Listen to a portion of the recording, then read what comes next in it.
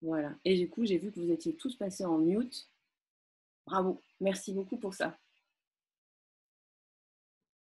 Et, euh, voilà. Est-ce que c'est bon pour toi, Sylvie? Tu veux rajouter quelque chose sur ça? Super, génial. c'est bon. Bien. Donc, euh, nous commençons avec un welcome. Euh, L'idée, c'est de se rencontrer, même si on l'a déjà fait de manière je trouve déjà. Donc, merci à vous. Euh, et donc, j'aurais envie de vous proposer pour euh, démarrer cet atelier, euh, je vous rappelle le principe d'accepter de ne pas tout comprendre tout de suite, peut-être, parce que on va vous, vous emmener dans, dans notre propre réflexion avec Florence sur le sujet de préparer l'avenir, comment accompagner les équipes en fait à, ce, à la reprise. Et donc, ce que je vous propose, c'est que chacun nomme une réflexion du moment en trois ou quatre mots. Et du coup, là, l'idée, c'est que celui, vous puissiez euh, le faire à l'oral. À l'oral, oui.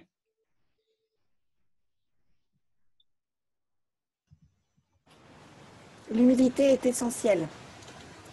Oui. Bonjour Sylvie. Bonjour. Donner une intention. Oui.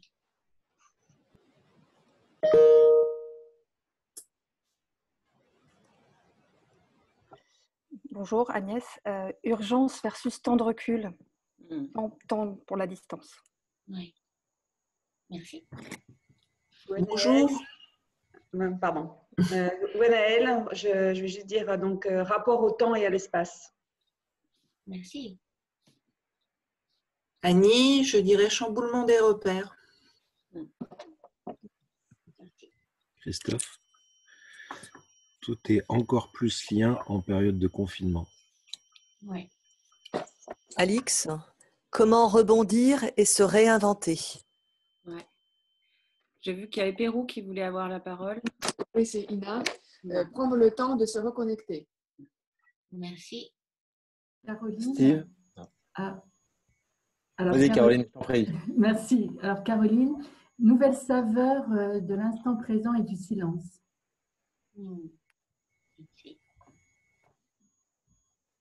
Frédéric, demain sera différent. Ségolène, porter son attention sur les priorités. Steve, Mathieu, Steve, qu'est-ce qui est vraiment important aujourd'hui? Hmm. Donc Mathieu, confiant Ah dans l'exploration dans l'inconnu. Hmm. Isabelle, devant l'ampleur de la tâche, par où commencer? Yes. Thomas Catherine? Ah, pardon. Thomas, oser donner la parole aux équipes différemment. Oui. Catherine, à la recherche de l'essentiel. Hmm. Jean-Marc, avenir incertain, donc à construire. Yes.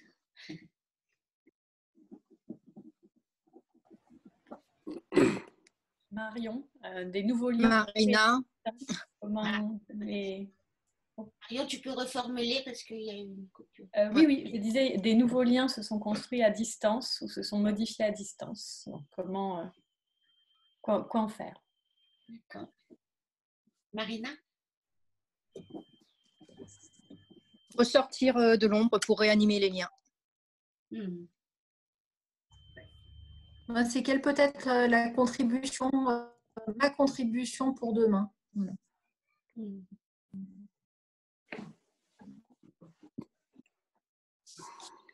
Tout le monde a pu s'exprimer Didier Isabelle, expérimenter le ralentissement dans un rythme effréné. Oui. Et Didier, j'ai envie de dire restaurer la confiance. Hmm. Ah, Didier, je t'avais pas vu tout à l'heure. Salut. Salut Florence. Salut Sylvie. Et salut à tous. Bienvenue. J'ai- pas pu entendre Métap et Kérim. Je ne sais pas si vous voulez partager quelques mots. Euh, tout est polarité lien parce que le confinement nous a rapprochés en fait. Ouais. as dit tout à l'heure. Merci. Et je voulais dire, euh, lire, euh, lire la nouvelle, nouvelle ère et positionner soi-même en accord. Je n'ai pas bien compris. Tu peux reformuler, euh, Karim plaît? Oui, oui. euh, lire la nouvelle ère et positionner soi-même en accordance. Hmm. Merci.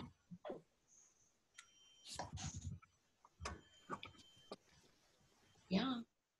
Ce que je vous propose, c'est de noter votre phrase pour vous.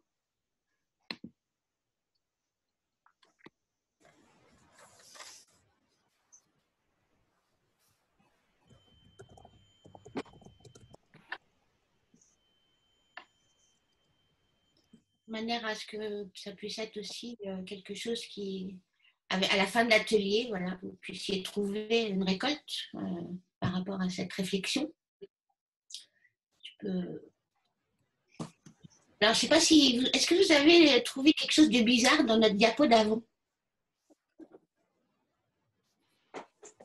Action, je sais. L'orthographe L'orthographe du, du, du mot réflecté. Voilà. Donc ça, c'est quelque chose qui nous est arrivé avec euh, Florence dans la co-construction de cet atelier.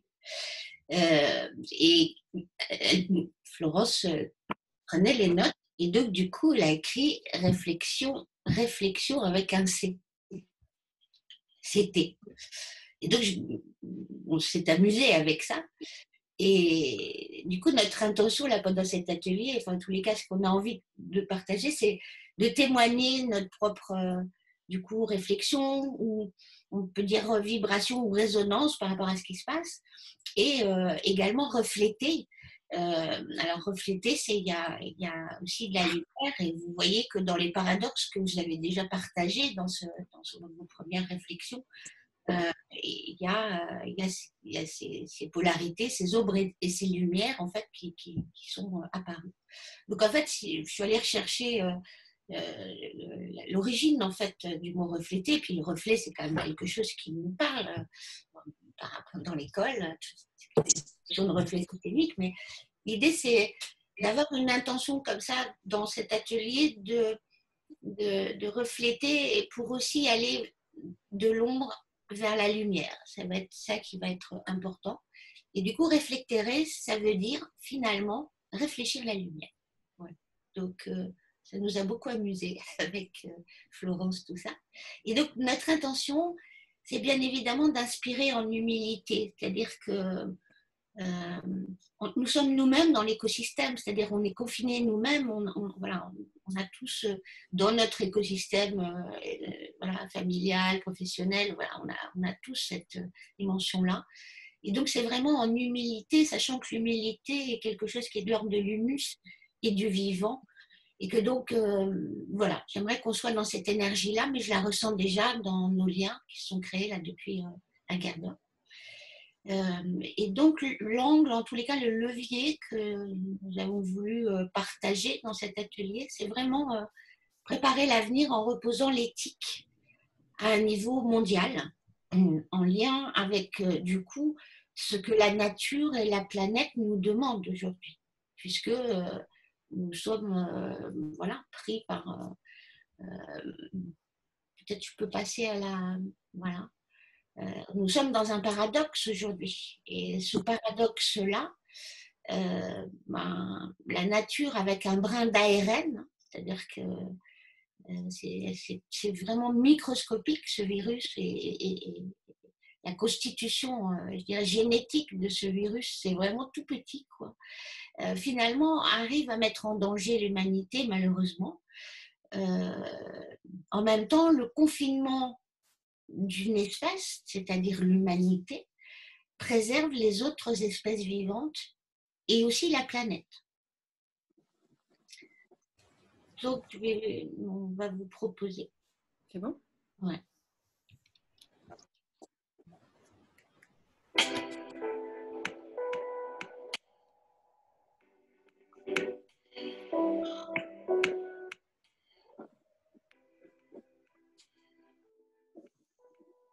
On n'a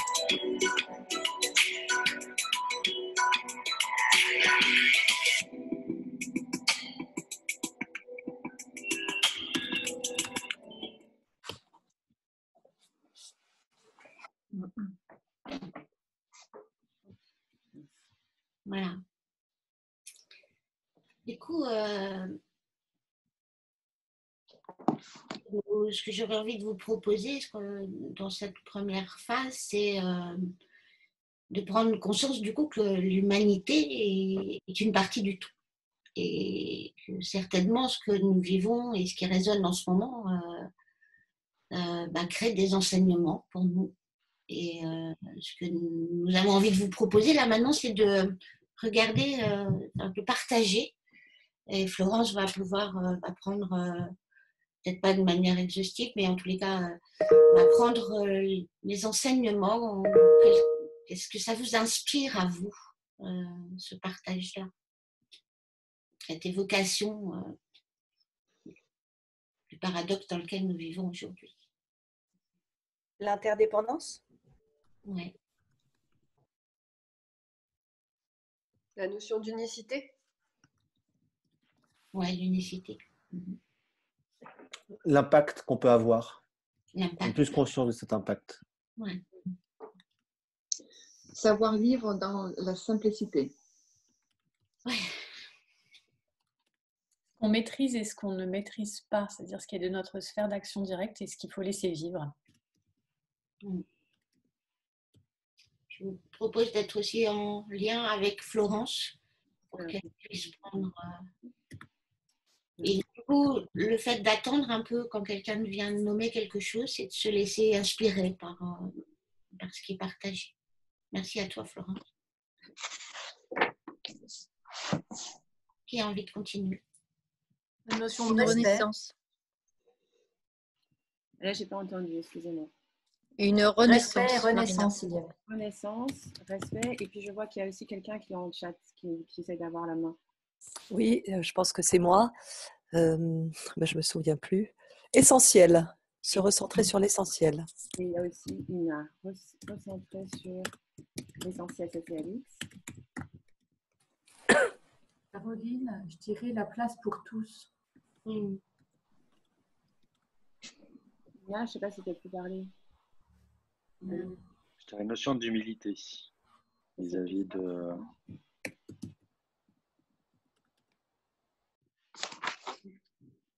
Je dirais la résilience du vivant. La résilience du vivant, oui.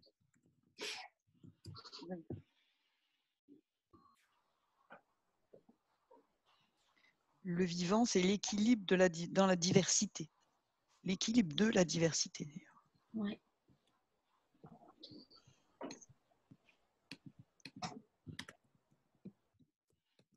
La non-toute-puissance de l'homme. Oui. Alors attends, parce que là, ça ne se met pas automatiquement comme je voudrais. Je vais juste ouvrir un deuxième truc.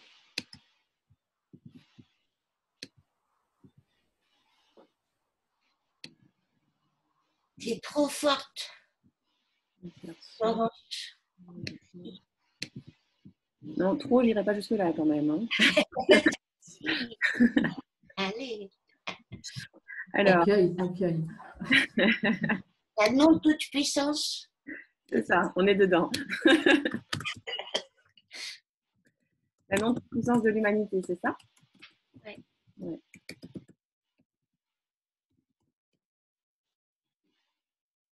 La puissance du vivant. La puissance du vivant.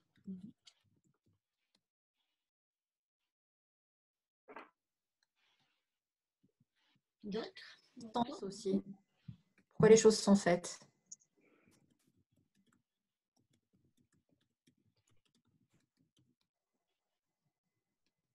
La reconstruction. Hmm.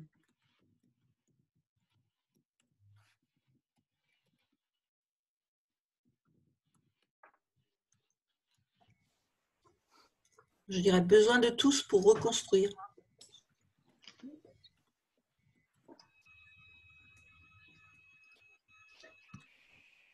Si je peux rajouter, prendre sa place.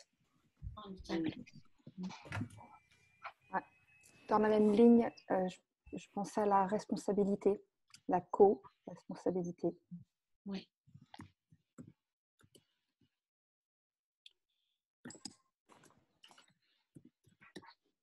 C'est peut-être un peu Apprendre. de droit et devoir aussi qui, qui arrive. Oui. J'ai mis euh, la nature prend ses droits, c'est- mais souvent on voit beaucoup d'articles euh, disant la nature reprend ses droits.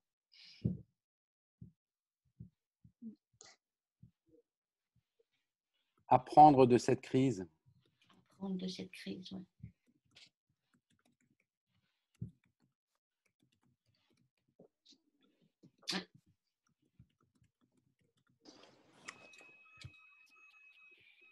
Passer de la loi du plus fort à la coopération avec le vivant. Mm.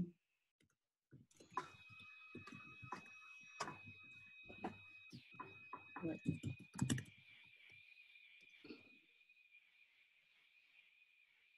Voilà. Moi, je rajouterais redevabilité, Oui. redevabilité et solidarité.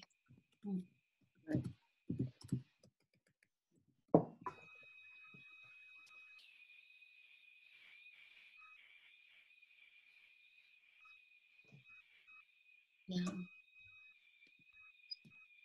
Est-ce que ça vous, est-ce que ça vous procure tout ce, tout ce partage? Déjà, ce qui est très fort. Du Moi, lien. Moi, ça me, ça me ramène aux lois du vivant, encore et toujours.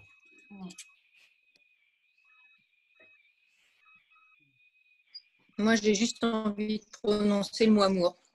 le mot amour. Espoir.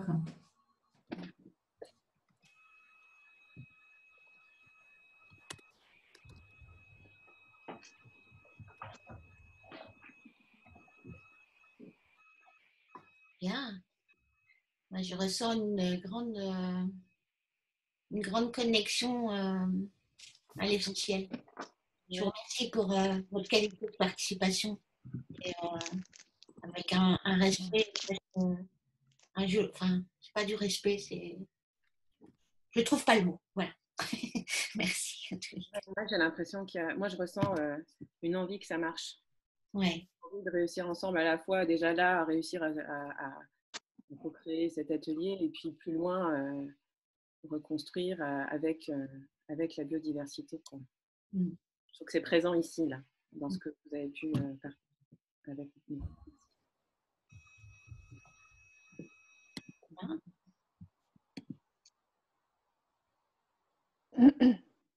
Alors du coup, on avait prévu une pause, mais finalement, euh, ce que j'adore, c'est que ça se passe euh, avec une telle fluidité. J'espère que tout le monde a pu s'exprimer euh, dans, déjà dans ces premières phases. Euh, mais voilà, ce qu'on avait envie de vous proposer, c'est de. Peut-être on va faire une mini pause, puis on en fera une autre après.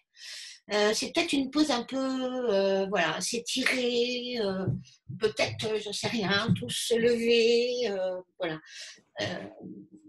Tu pourrais remettre la galerie Ouais. Voilà, aller boire un verre d'eau, un café. Puis peut-être que, voilà, on, peut se. Il y a un affichage galerie qui est possible. Vous pouvez voir. Ouais, voilà. Euh, Kérim et Mathilde. Aller boire un verre d'eau, se lever, euh, voilà. Parce que là, déjà, il y a eu quand même bah, beaucoup de vibrations qu'on a reçues avec très très fort. Donc voilà. Du coup, quand on se lève, on ne voit plus nos têtes. Chouette.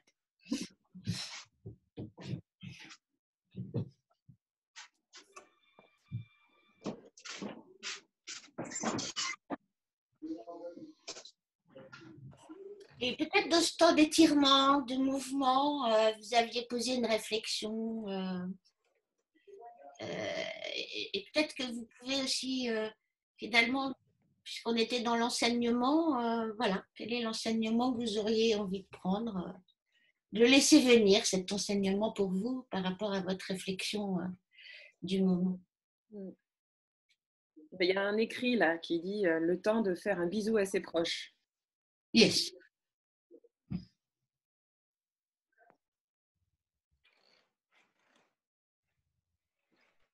C'est vrai que la qualité de la relation, elle se fait euh, vers l'extérieur, mais aussi vers l'intérieur de ceux qui sont euh, confinés avec vous.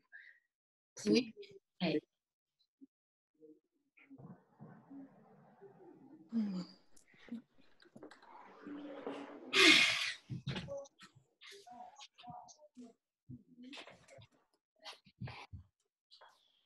D'ailleurs, moi aussi, je vais boire un petit coup.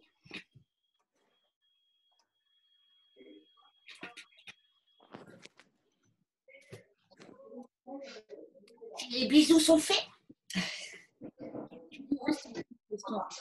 Les bisous sont faits de mon côté. Super, Steve.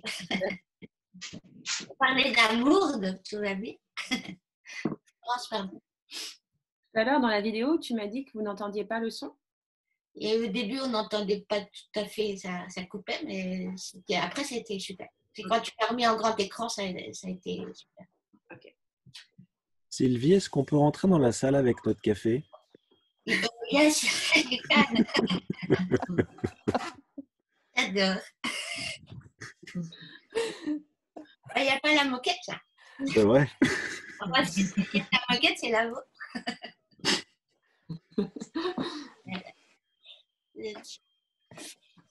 Super.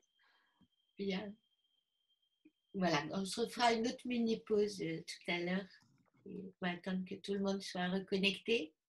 Est-ce que ça va le...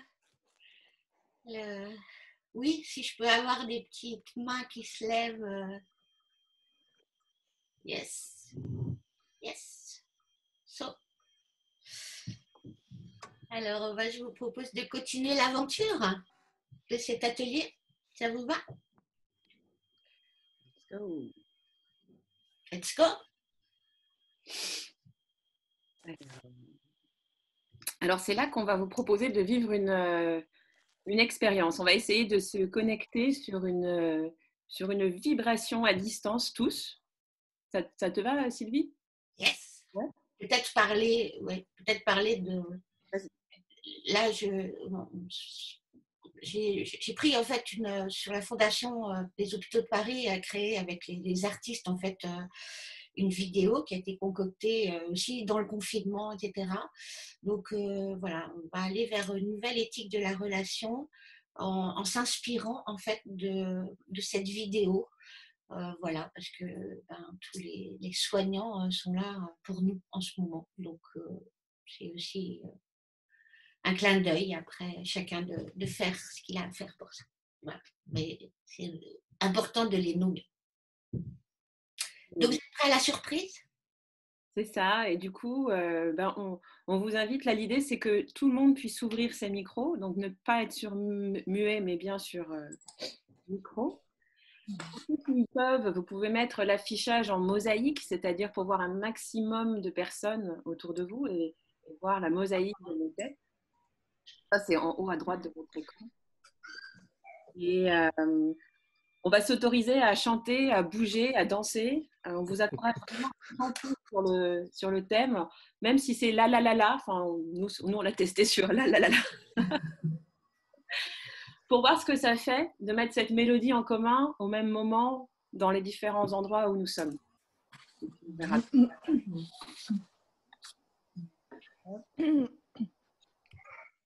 Et donc là, normalement.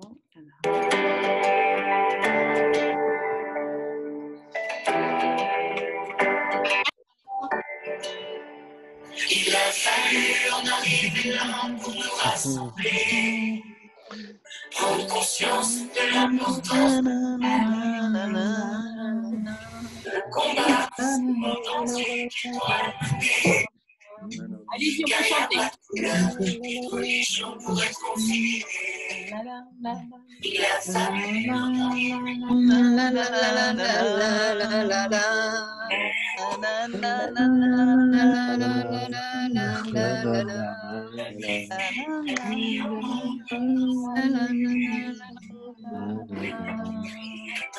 Mm-hmm.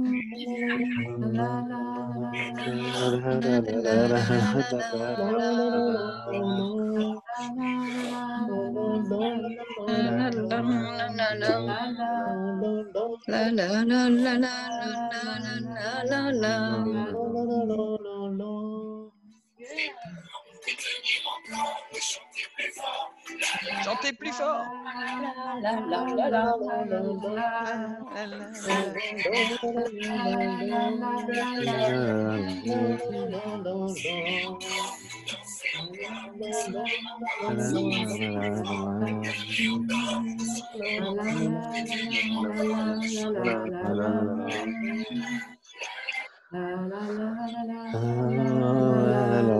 La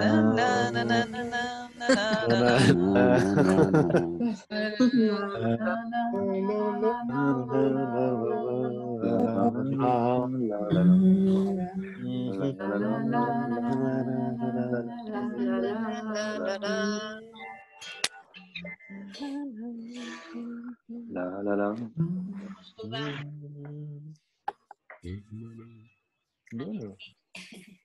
Bravo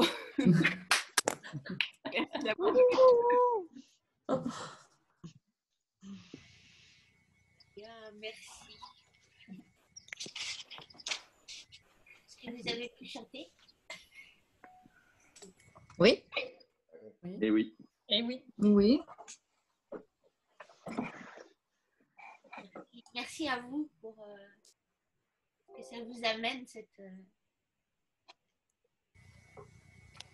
expérience, en tous les cas, que nous testons et nous expérimentons. hein. Je pense que nous on va encore euh, trouver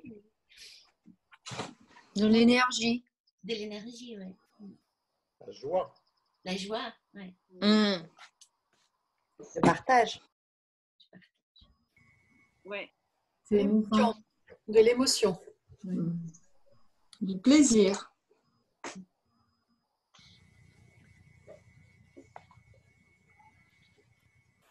Bien. De la spontanéité. Une, une certaine synchronisation. Oui. Juste certaine.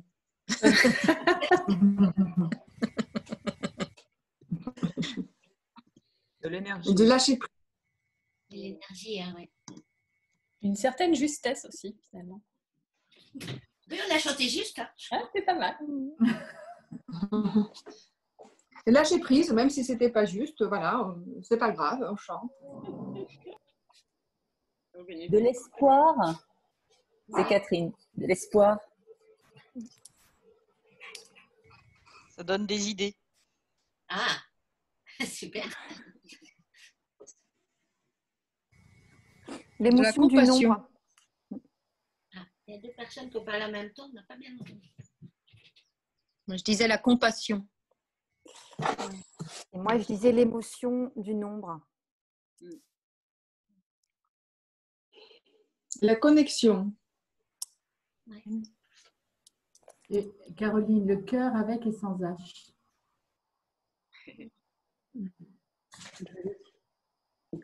Euh, Gwenaëlle, moi je dirais le- la joie. Ségolène, moi je dirais la voix VOIE et la voix VOX. Non,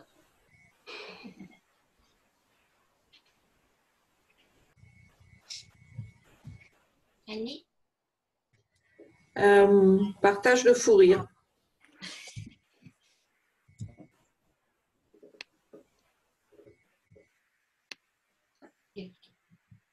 Moi, je vous remercie de nous suivre dans ces, dans ces expérimentations. En tous les cas, euh, ça nous tenait à cœur aussi euh, de faire un cœur, comme vous le disiez tout à l'heure, et, et en même temps d'être en, so- en solidarité en fait avec euh, voilà, toutes les, personnes qui œuvrent en ce moment. Donc, euh, on peut œuvrer aussi euh, en se connectant comme ça dans ces liens. Euh, donc, euh, merci pour l'expérimentation en tous les cas. Euh, du coup, euh, si nous nous connectons à cette solidarité et le fait d'oser expérimenter euh, euh, des choses nouvelles et en même temps euh, simples, hein, si je reprends un peu tous vos mots que vous disiez tout à l'heure, euh, être simple, être dans l'essentiel, voilà, d'oser expérimenter, d'être- relié, d'être le, le- thème que nous proposons maintenant, ça va être de justement de peut-être aller explorer cette partie sur cette nouvelle éthique euh, du, de la relation. Il y a certainement quelque chose à tirer dans les organisations entre nous euh, sur cette nouvelle éthique de la relation. Euh, et du coup, euh, j'ai envie de vous proposer, si tu peux nous partager l'écran, euh, s'il te plaît. Je croyais que j'étais en train de vous partager l'écran. Oui, il, il Oui, est oui. partagé. On le voit. Ouais. En Turquie, toutes les associations. J'ai pas la fin du message. Tu vois pas, toi? Il faut remettre la mosaïque en petit. Ça y est, je l'ai, merci. C'était moi qui n'avais pas bien fait. Euh, du coup, dit du coup, je ne sais pas pourquoi, c'est un petit mot qui me vient là aujourd'hui, peut-être c'est d'autres l'émotion. Euh, la pandémie mondiale, euh, c'est en fait un trou noir à traverser, puisqu'on voit bien que la nature euh, nous, met euh, dans une. euh, certains parlaient d'une forme d'impuissance tout à l'heure, ce qui peut être le cas. Et je ne sais pas si la notion de trou noir, en fait, dans l'univers, un trou noir, c'est un, trou qui absorbe la matière dans l'univers. Et, et ça, c'est intéressant aussi de regarder comment le vivant euh, et l'ensemble de l'univers fonctionne. Euh, et, l'intention de ce trou noir à traverser, parce que euh, il y a effectivement beaucoup de solidarité, il y a de la connexion, il y a des choses nouvelles, et en même temps, c'est important de ne pas se, voiler la face. C'est- un, grand bouleversement que nous vivons. Et donc, euh, ça m'a évoqué, en fait, dans le, paradoxe, euh, euh, ce moment de la bouillie de chenille. C'est-à-dire que si je prends la chrysalide, euh, bah, on ne sait pas trop ce qu'il y a dedans. Ça, c'est Daniel d'Harmonie qui parlait de bouillie de chenille. Merci à toi. Et Daniel, et donc, du coup, cette, cette bouillie de chenille, c'est vraiment un passage par un chaos.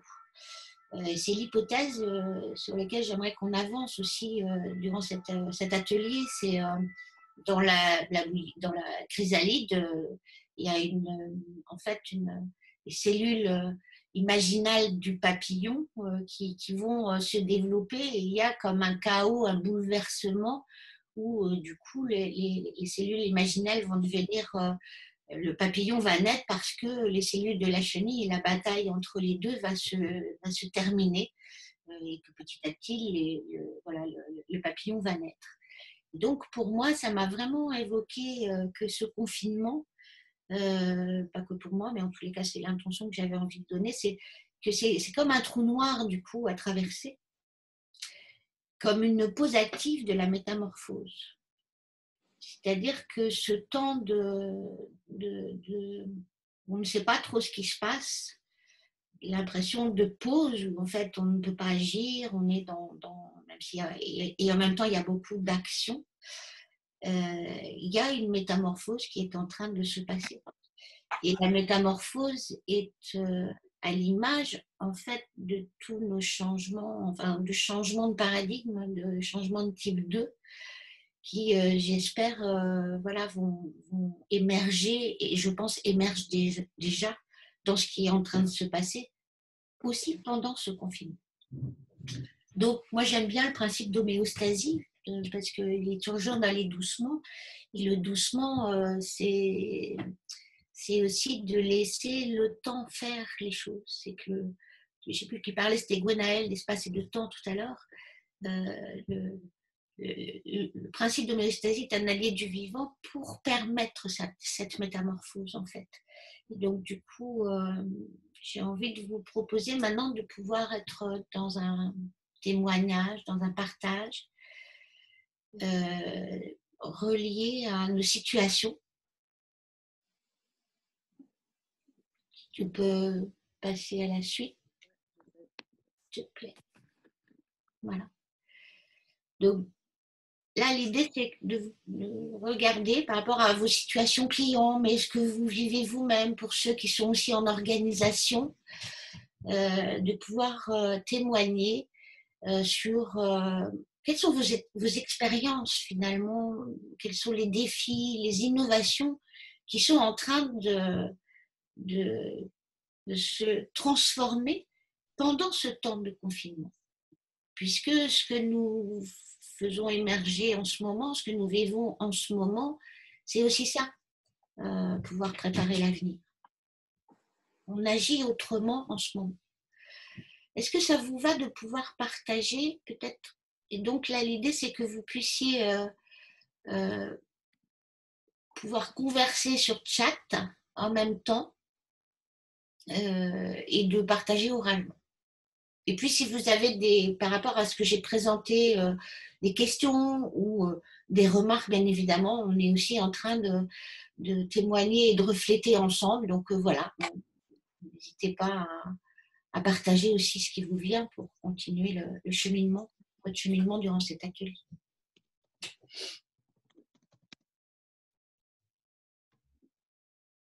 Donc, il y, y, a Christelle qui a déjà écrit sur le chat. Voilà.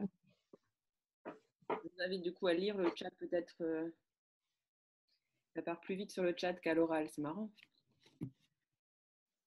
Alors, refus de changement et d'expérience. Est-ce qu'on laisse cinq minutes euh, de, d'expression de, sur le chat Peut-être une, ou quelques minutes? Ou si vous pouvez chatter et en même temps euh, prendre la parole?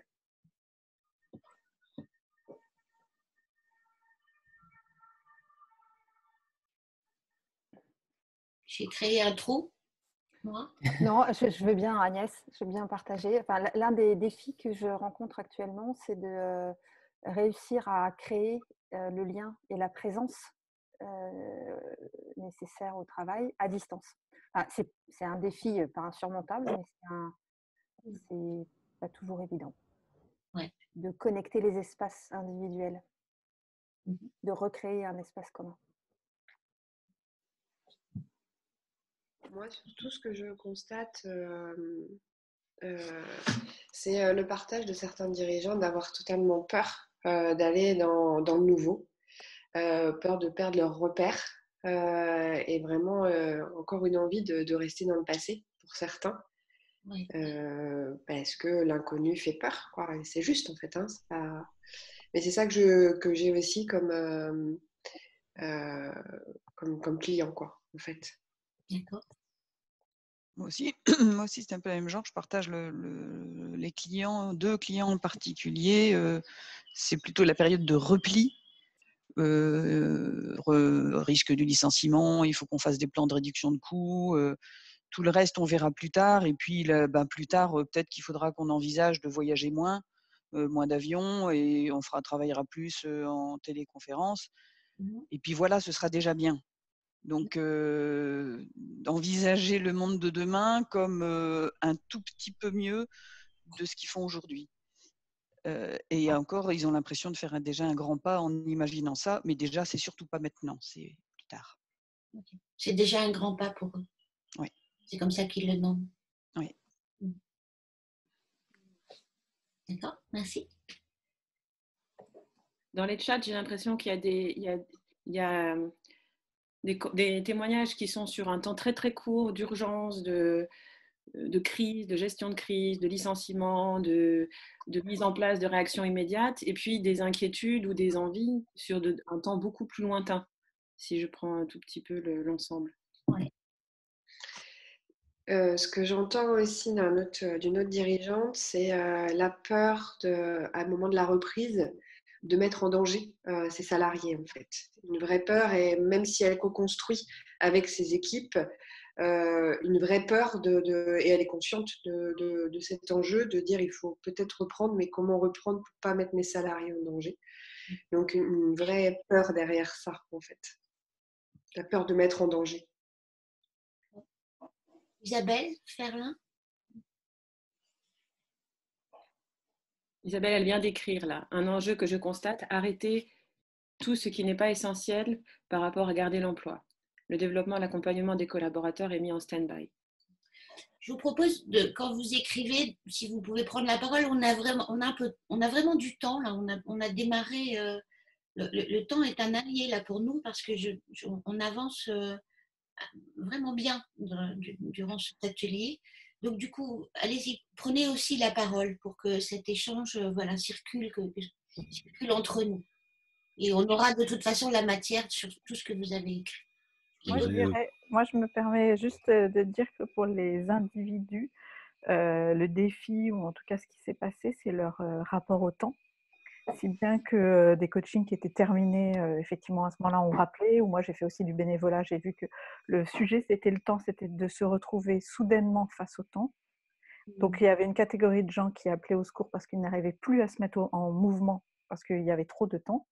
Et il y a ceux qui découvrent que euh, j'ai des clientes qui ont découvert que bah, tendre son linge l'après-midi, c'était assez extraordinaire et qu'ils se disent bah en fait euh, mon rapport au temps comme ça me va très bien et comment je vais retourner après. Ouais. Donc en tout cas il y a un défi sur le temps. et Il y a tous ces gens qui depuis des millions d'années se disent si j'avais le temps je ferais, si j'avais le temps et tout Ouais. d'un coup ils l'ont. Mm. Et là qu'est-ce que j'en fais? Parce que je l'ai eu tout ce temps. Moi, ma réflexion. de euh, rebondir là- là-dessus, parce que c'est aussi, pardon, voilà, mon sujet, euh, c'est c'est aussi le témoignage que je voulais apporter. Moi, ce que j'entends beaucoup, c'est euh, ben, le fait de ralentir, cette rupture de rythme. Soit ça provoque un, ralentissement, soit ça provoque une accélération, mais en tout cas, ça interroge sur euh, le rapport au temps. Euh, le rapport aussi à la connexion à soi, parce que beaucoup me disent, mais je me rends compte que finalement j'avais un rythme trop rapide, euh, je suis crevée et je m'en étais pas rendu compte. Euh, donc, comment ce rapport au temps nous, reconnecte à- à nous-mêmes, peut-être leur corps et aux autres. Euh, voilà, à la fois le rapport au temps, au présent, parce que c'est difficile de se projeter dans l'avenir, et comment dans ce présent, lien avec les autres. Merci. On n'a pas bien entendu après.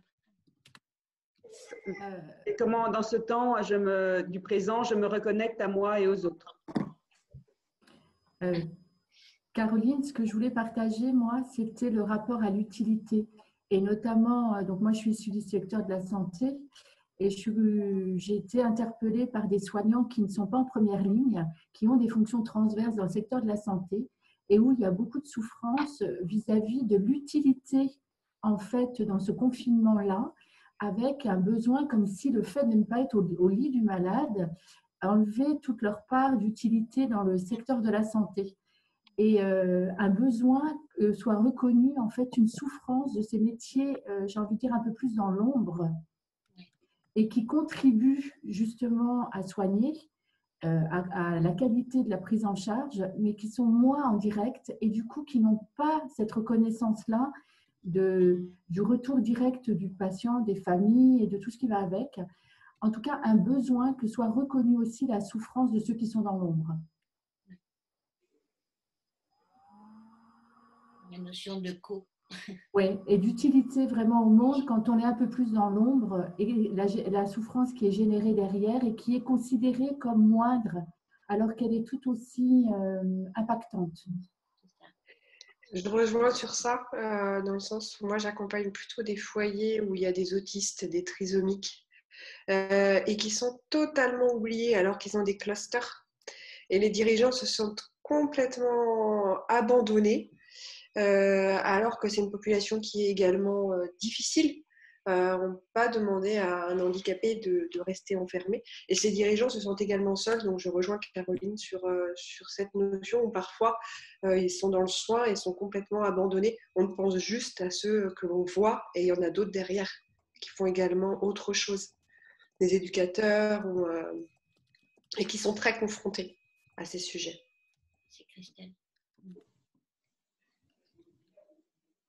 D'autres personnes Alors, moi, je dirais que. Moi, je voudrais. Euh, pardon. Vas-y, vas-y, je prendrai après. D'accord, merci. Euh, alors, moi, je dirais, euh, pendant ce- cette crise, euh, donc ce qui me vient à l'esprit, c'est euh, c'est le paradoxe, prendre la crise comme une, comme une opportunité.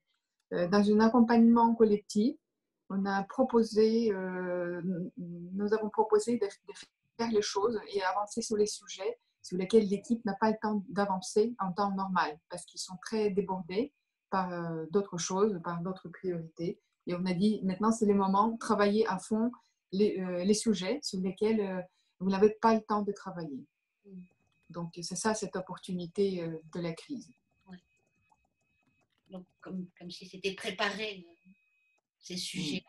Prendre le Ouais. temps de préparer ces sujets-là. En fait. Oui.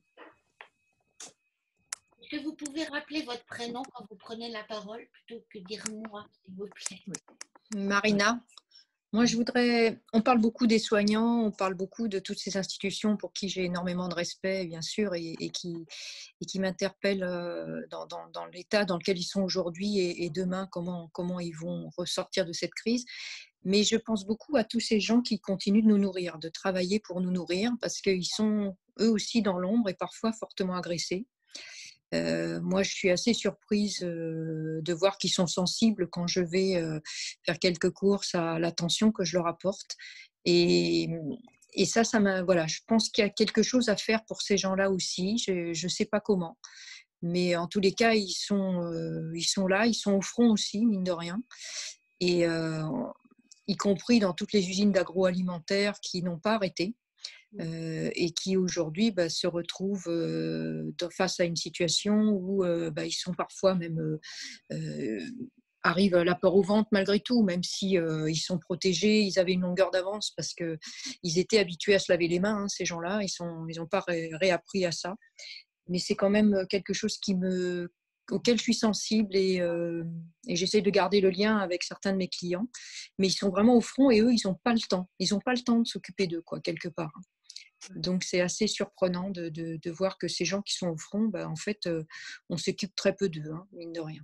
Donc euh, je pense qu'il y a un défi aussi là-dessus à, à relever. Je ne sais pas comment, mais euh, en tous les cas, j'essaye de garder le lien avec eux.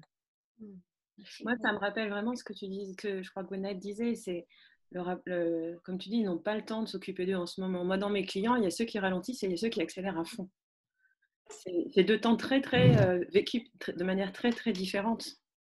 Euh, il y a une diversité dans, dans- ce qui se passe encore, alors qu'on vit tous une période euh, inédite. Euh, Christelle, je voulais juste aller vers, vers le défi. Il y a une peur, moi, qui, qui me vient, c'est, je sens que beaucoup commencent à se poser la question, ok, mais les banques ne nous laissent pas la possibilité d'aller vers un changement dont on a envie, on ne se sent pas accompagné, et quelle va être, on va dire, la, la, la place, le poids, on va dire, du système économique, euh, de, de- des banques, est-ce que vraiment on va être soutenu pour aller vers le changement? Ça, c'est une vraie question. On ne peut pas faire contre, mais plutôt avec. Et euh, ils ne sentent pas là tout de suite l'alliance entre euh, des grosses entreprises. Moi, il y a un dirigeant de PME, il y a une grosse entreprise qui a dit on ne vous paiera pas. On, pense déjà à nous et pas après, alors que c'est des grosses structures. Donc voilà, comment on va pouvoir aller vers le changement alors que certains ne nous, donnent pas l'opportunité d'y aller? Donc la frustration. Donc le défi, c'est ça en fait. L'importance de l'éthique de la relation aussi, c'est-à-dire qu'est-ce que dans ces alliances-là, euh, euh, il va y avoir, si on, se relie en fait à ce que vous avez connecté en termes de cœur, en termes d'amour, enfin, des mots comme ça, il y, a, y y quelque chose à trouver et à transformer dans euh, des liens et des alliances nouvelles, du coup, euh, qui peuvent répondre aussi à ces défis. Ouais. Merci. Kevin et je sais pas tous les prénoms, si je ne vous interpelle pas, venez. Kirim, pardon. euh, D'autres personnes ont partagé. Bah, Jean-Marc, je veux bien euh, Oui. partager quelque chose. Euh, je me suis lancé dans du coaching solidaire. C'est quelque chose que je trouve d'important aujourd'hui et de nouveau. Euh, et j'ai comme client des indépendants. Euh, ce que je ressens comme défi pour eux, c'est une peur avec la perte d'activité et, perte de revenus et une incertitude totale sur leur avenir, ce qui, que je travaille avec eux. Euh, Et puis pour moi, c'est une expérience euh, qui me permet de casser des croyances limitantes, notamment qu'il n'y a vraiment aucun problème à faire du coaching euh, via Internet, alors que j'avais tendance à, croire que c'était possible, mais que, seulement quand on connaissait les gens. Et puis, c'est une ouverture aussi sur des clients partout en France, alors que j'avais tendance à penser que c'était le présentiel qui comptait et donc euh, c'était forcément une clientèle locale. J'habite Lyon. Super. Moi, je voudrais rebondir aussi. Euh, Ah, moi, je suis... Ah, pardon. Non. Ouais. Moi, je suis beaucoup tourné vers les enfants dans cette période. Et par exemple, euh, les innovations, je- je- j'organise des récréations avec les classes entières de, de mes enfants. Euh, j'invite la maîtresse, j'invite la directrice de l'école. Et un peu comme ce que vous faites euh, là, j'essaye de créer un moment d'inclusion. J'invite les enfants à raconter un bon moment qui- qu'ils ont passé, de montrer un jouet, des choses comme ça. Et de, et de cette initiative, euh, j'ai continué avec mes, des étudiants d'une école d'ingénieurs. Et puis après, je suis parti avec les voisins. On organise des trucs. Donc voilà mes, mes innovations à moi dans cette période pour créer du lien et, et faire en sorte que chacun puisse déposer ses émotions et, se voir les uns les autres.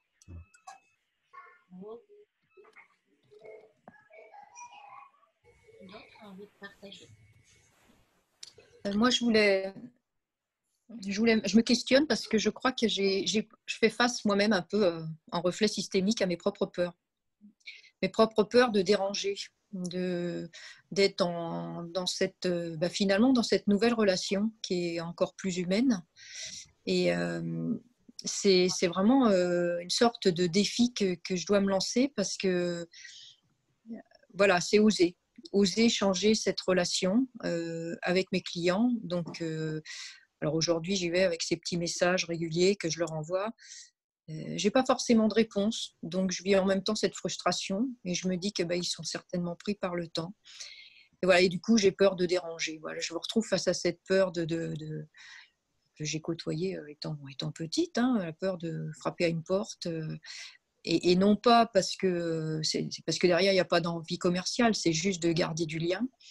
Et voilà, c'est peut-être un défi de oser encore, oser encore plus sans être dans, dans l'excès. quoi. C'est trouver cet ajustement, ce nouvel ajustement.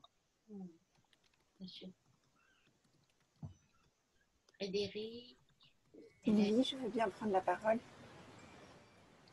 Euh, alors, euh, moi, ce, que je, ce qui me frappe particulièrement et où je me sens un peu démunie, c'est à la fois euh, euh, le besoin de contrôle que je ressens chez certains de mes clients, de savoir quand ça va s'arrêter, comment ils vont faire. Euh, donc, le besoin de savoir, le, euh, le sentiment qu'il faut effectivement être en capacité de se projeter et en même temps, euh, la prise de conscience que le monde n'a jamais été aussi incertain. Donc c'est réconcilier ce besoin de contrôle qui rassure et en même temps cette prise de conscience de l'incertitude.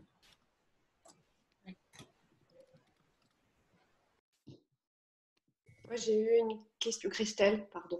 Euh, j'ai eu une question d'un d'un client. Comment je peux toujours garder de la motivation dans, dans mes équipes euh, alors que je ne sais pas où je vais Je ne peux pas donner de vision, je ne peux pas donner foncièrement de, de- d'ambition, de rêve, euh, j'arrive pas à le trouver. Comment je peux, euh, dans cette, dans cette dynamique-là, maintenir l'envie?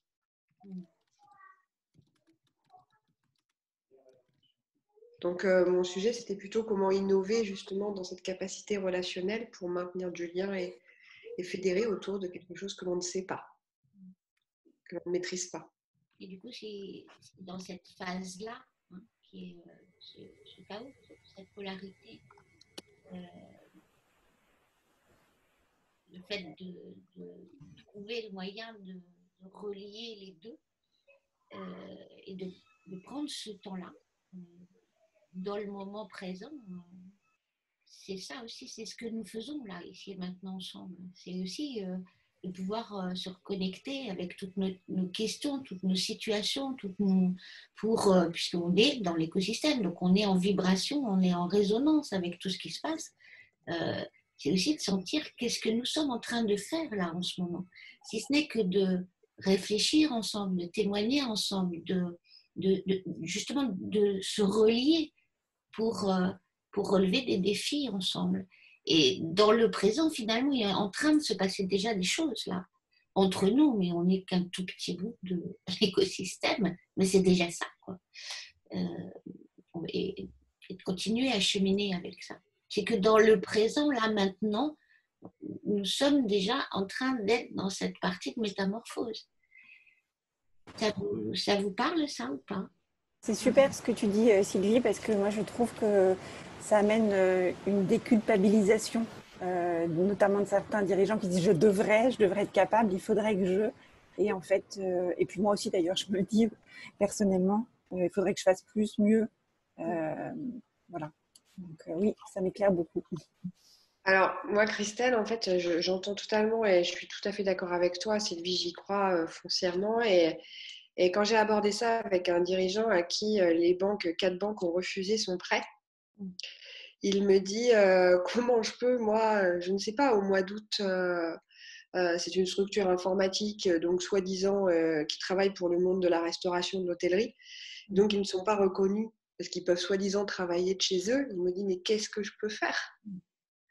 Euh, je ne je, je peux pas être dans l'instant présent.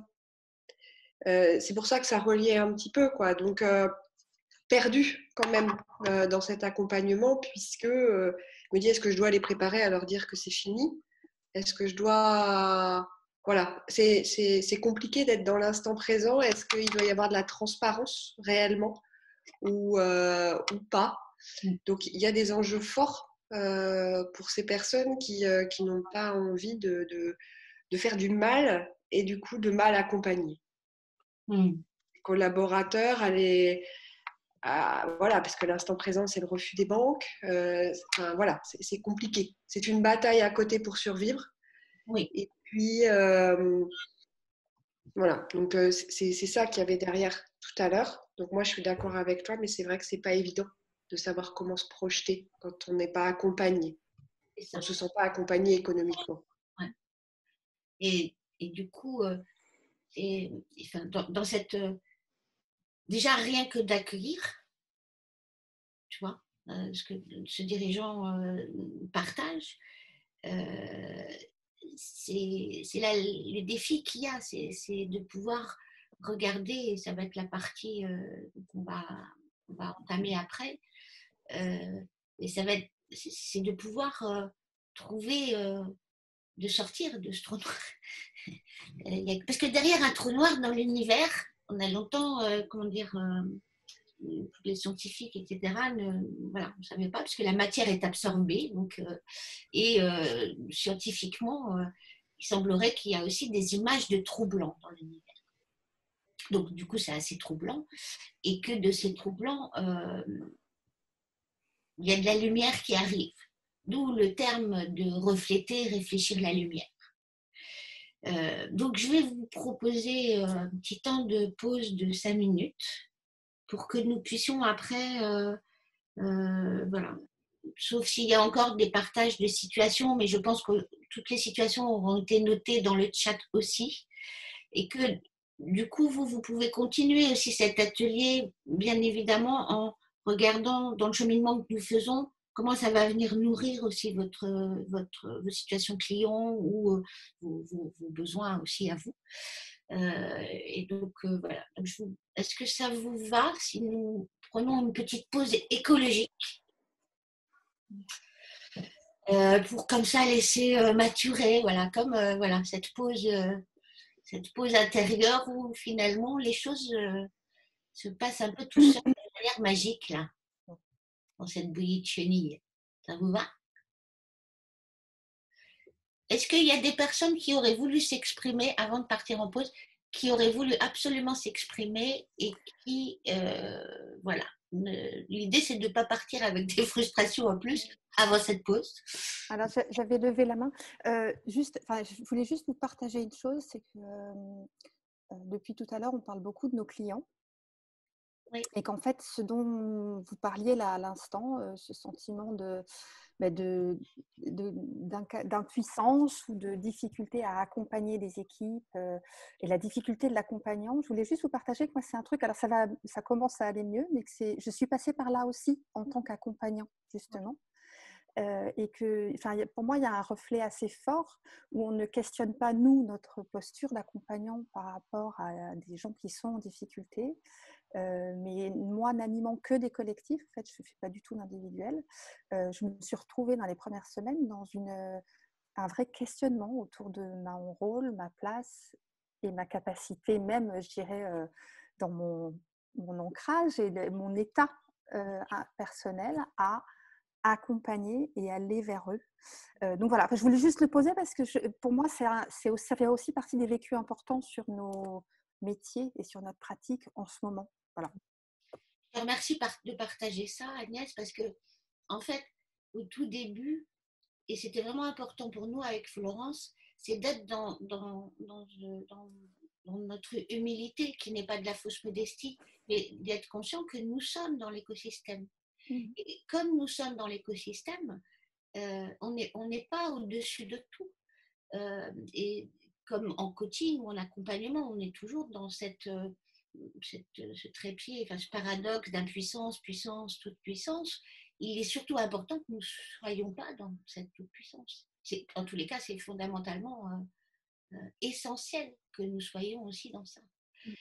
Et le fait de refléter, refléter, ça veut dire quoi? Ça veut dire aussi, que si moi, dans mon humanité, dans, mon- dans, dans ma- dans mes résonances, dans tout ce que je vis, je- je- j'ai aussi de métamorphose, ça va, ça va transformer aussi ma posture.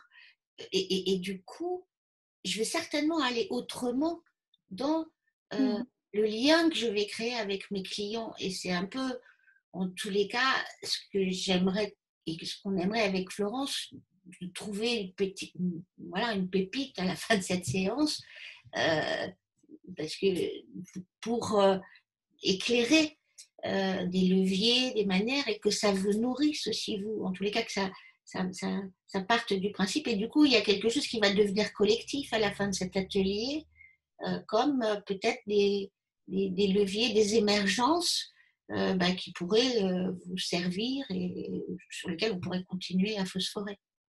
Voilà. Merci pour ton témoignage fort. Merci Sylvie. D'autres personnes seraient frustrées s'ils ne prenaient pas la parole maintenant? Je pourrais le dire positivement, d'autres personnes aimeraient partager quelque chose.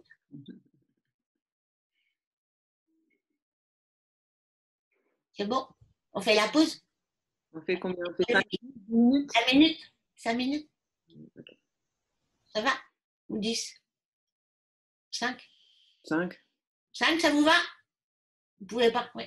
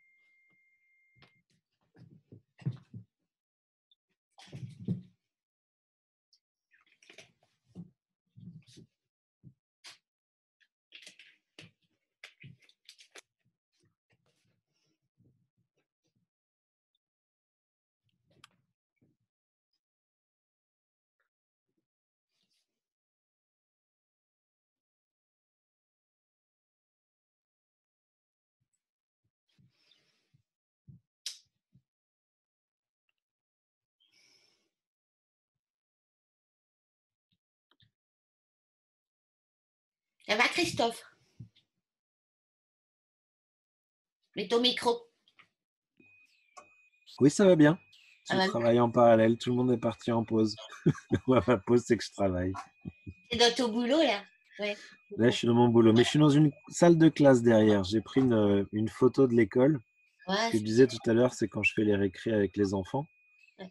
euh, je les mets dans leur, euh, dans leur salle de classe et puis euh, je suis resté comme ça. Super. Ouais, c'est super. J'ai vu ça aussi. Tu nous amènes euh, l'enfance. Ouais. Ouais. Et Ouais. puis, je sais pas si vous connaissez Dominique Janteur, qui, est, euh, qui est coach et qui anime des Talents Lab Kids. En fait, elle a, elle a posé du coaching collectif d'enfants de CM1, CM2, 6e, avec des ateliers philo, avec euh, du thé de cœur-corps, avec des choses comme ça. J'ai eu la chance de la rencontrer et, et mon fils participe maintenant. Et je trouve que là encore, auprès des enfants, il y a plein de choses à faire avec nos, nos métiers. Mm. C'est la fondation de, de Frédéric Lenoir qui a lancé ces ateliers philosophiques. Ouais. Ouais. Mm. Mes tapes, ça va? Je- Parce que je vous entends pas tous, donc voilà, je prends des nouvelles. Mets ton micro, ouais. Non, ça va, mais pour l'instant, moi, je n'ai pas encore de vrais clients. C'est pour ça que je n'ai pas pu partager beaucoup, euh, grand-chose euh, dernièrement. Mais, mais, euh, ce, ce qu'on expérimente, c'est que on essaie de s'adapter aux nouvelles conditions. Et ce n'est pas toujours très facile de gérer notre temps, d'apprendre à travailler autrement. On travaille à domicile, on a les enfants dont- avec lesquels on doit s'occuper, on doit s'occuper de la maison et euh, on doit s'occuper de plein, plein de choses. Et le temps, on, on croyait qu'on en avait en abondance maintenant, mais en fait, euh, c'est pas le cas et c'est le paradoxe en fait. Et on essaie de retrouver. Ouais, le temps et l'énergie, et effectivement, la culpabilité ou non de ce, de ce que tu réussis à faire. Est-ce qu'à la fin, tu es... Moi, ça m'a mis du temps à accepter que, en fait, j'étais contente de passer du temps avec mon fils parce que sinon, euh, si j'essayais de faire et le travail et, euh, et la maison euh, et le confinement, euh, ben, pouf, je suis épuisée. Donc, on essaie de s'adapter en fait aux nouvelles conditions petit à petit. Ça va mieux maintenant qu'aux qu'aux- qu'aux premières semaines. Mais, et le, le souci de ne pas savoir le futur, en fait, on ne sait pas quand est-ce que ça va s'arrêter, on ne sait pas ce qui va se passer après. Ouais, c'est très Après, certitude, ça, ça nous déstabilise tous, et nos- notre entourage. Et, mais ce qu'on a fait avec Kérim, on a, euh, hier, on a fait un petit atelier avec nos, nos collègues. Euh, on leur a parlé un peu du stress, de la résilience et tout. Et ça, ça a été notre premier partage euh, dans, dans ce contexte avec, euh, avec nos proches. Et ça nous a donné un peu d'énergie. Chouette. Chloé, je t'entends pas non plus. Ça va? J'essaye de Oui, ça va, mais j'étais en observatrice. Pour ça. Bon, bah maintenant, t'es dedans. Ouais. tu, tu es dans l'écosystème. On va attendre que tout le monde nous rejoigne. Donc, si certains ont envie de papoter, parce que on a le droit de faire aussi, vous savez, dans les pauses, il se passe plein de choses quand, quand on accompagne des clients. Donc, du coup, euh, il se dit plein de choses aussi là dans la pause. Jean-Marc, tu voudrais dire quelque chose, toi? D'essentiel ou de pas essentiel, simplement? Non, moi j'ai fait une petite pause sympa, puis voilà. Le, t'as pris l'air.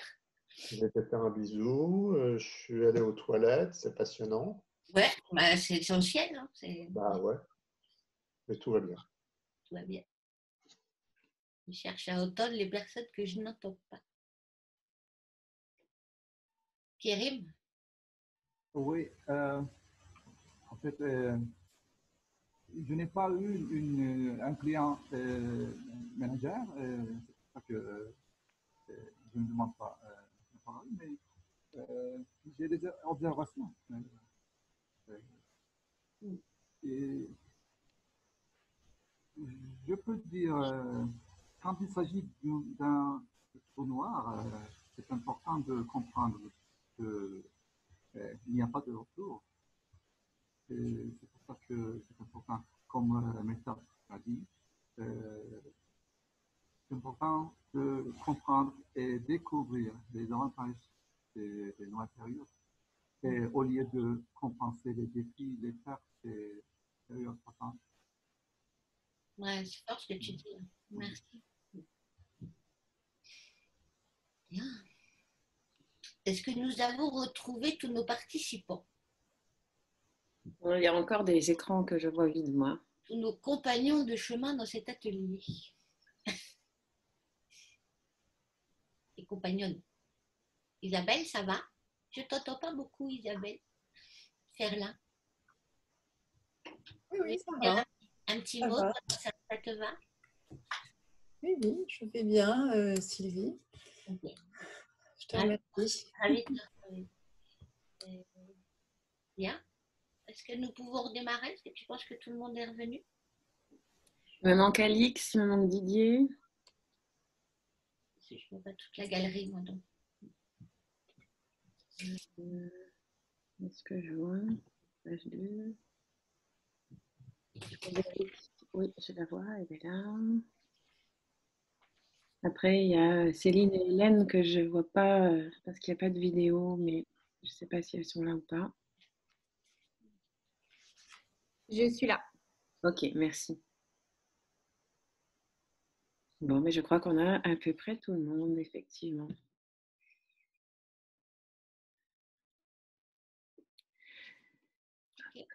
Bien.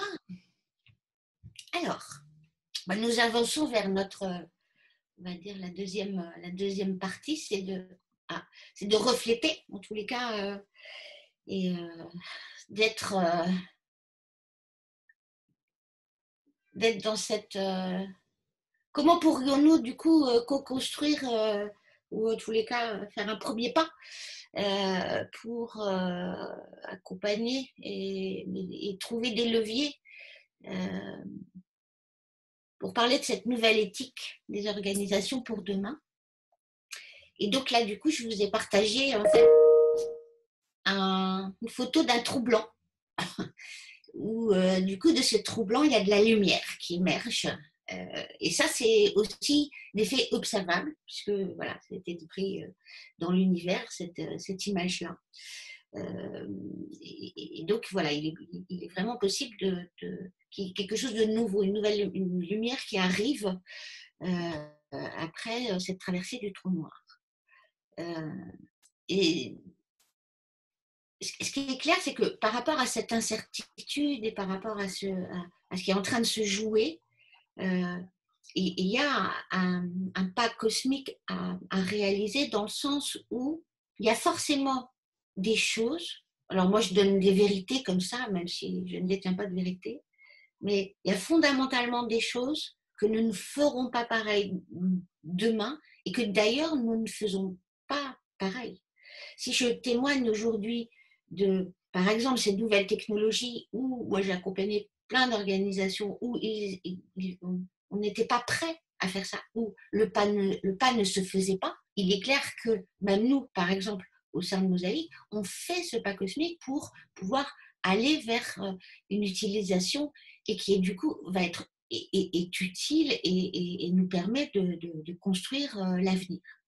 Donc voilà, c'est le défi euh, que je vous propose dans cette deuxième partie d'atelier, c'est euh, vraiment de pouvoir trouver dans nos échanges bah, quel pas cosmique on pourrait faire pour reconnectant cette notion de nature, cette intention euh, d'humanité euh, et de, relation, de qualité de, relation euh, dans, au sein de l'humanité, donc entre nous aussi et nous avec nos clients et, et de, trouver du coup des transformations qui pourraient être utiles, qui pourraient faire sens, qui redonneraient de l'essentiel pour demain. Et donc du coup qui va aussi bouleverser, en tous les cas, c'est pas le bouleversement, c'est pas cosmique dans le sens euh, euh, encore transformer aussi euh, notre métier d'accompagnement.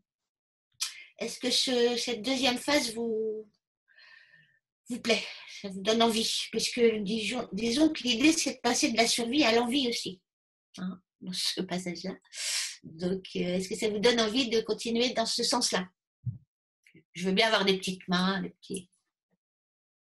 Yes? Euh, la grande difficulté, c'est que quand on est en atelier vidéo, je partage en même temps ce que je vis, c'est que euh, c'est de pouvoir entendre les réponses muettes. Mm. Moi, je, voilà, je suis, je suis, euh, je suis en train de partager ça. Et finalement, j'arrive, j'arrive à Alors, on y va Ça va? Donc, ce que je vais vous proposer, ce qu'on va vous proposer, c'est quelle transformation dans les organisations, sachant, sachant que nous sommes nous-mêmes une organisation, qu'on soit indépendant ou qu'on soit un réseau, qu'on soit euh, voilà, des, cabinets ou des entreprises. Je pense que cette question-là, en tout cas je fais une hypothèse, cette question-là euh, peut être intéressante pour réussir ce pas cosmique. Donc on va la tester, l'expérimenter. Euh, et c'est quels sont les virus dans nos organisations que nous ne voulons plus transmettre dans l'écosystème. Je ne sais plus qui disait tout à l'heure, c'est d'avoir conscience de l'impact concret. Ah, le son est très mauvais. je, vais reformuler. Quels sont les virus dans nos organisations que nous ne voulons plus transmettre dans l'écosystème? La méfiance et la défiance? Par exemple. Christelle Attends, hop. Attendez, on va laisser Florence pouvoir. Parce que je- ça vaut le coup que je prenne des notes, je pense quand même, non? T'es d'accord? Ouais, super, déjà. Ouais. C'est enregistré, mais. Alors, attends. Défiance et méfiance.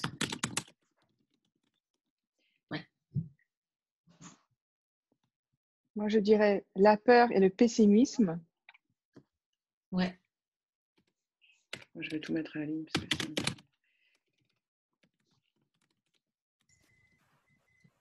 L'individualisme Oui.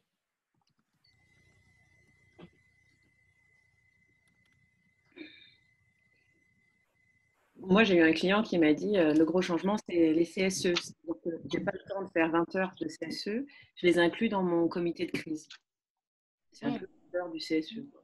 Une, une croyance sur ça.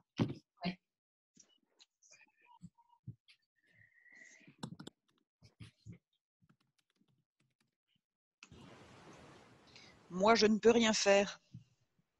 C'est ça. Ça, on ne veut plus transmettre ça. Manque de sens.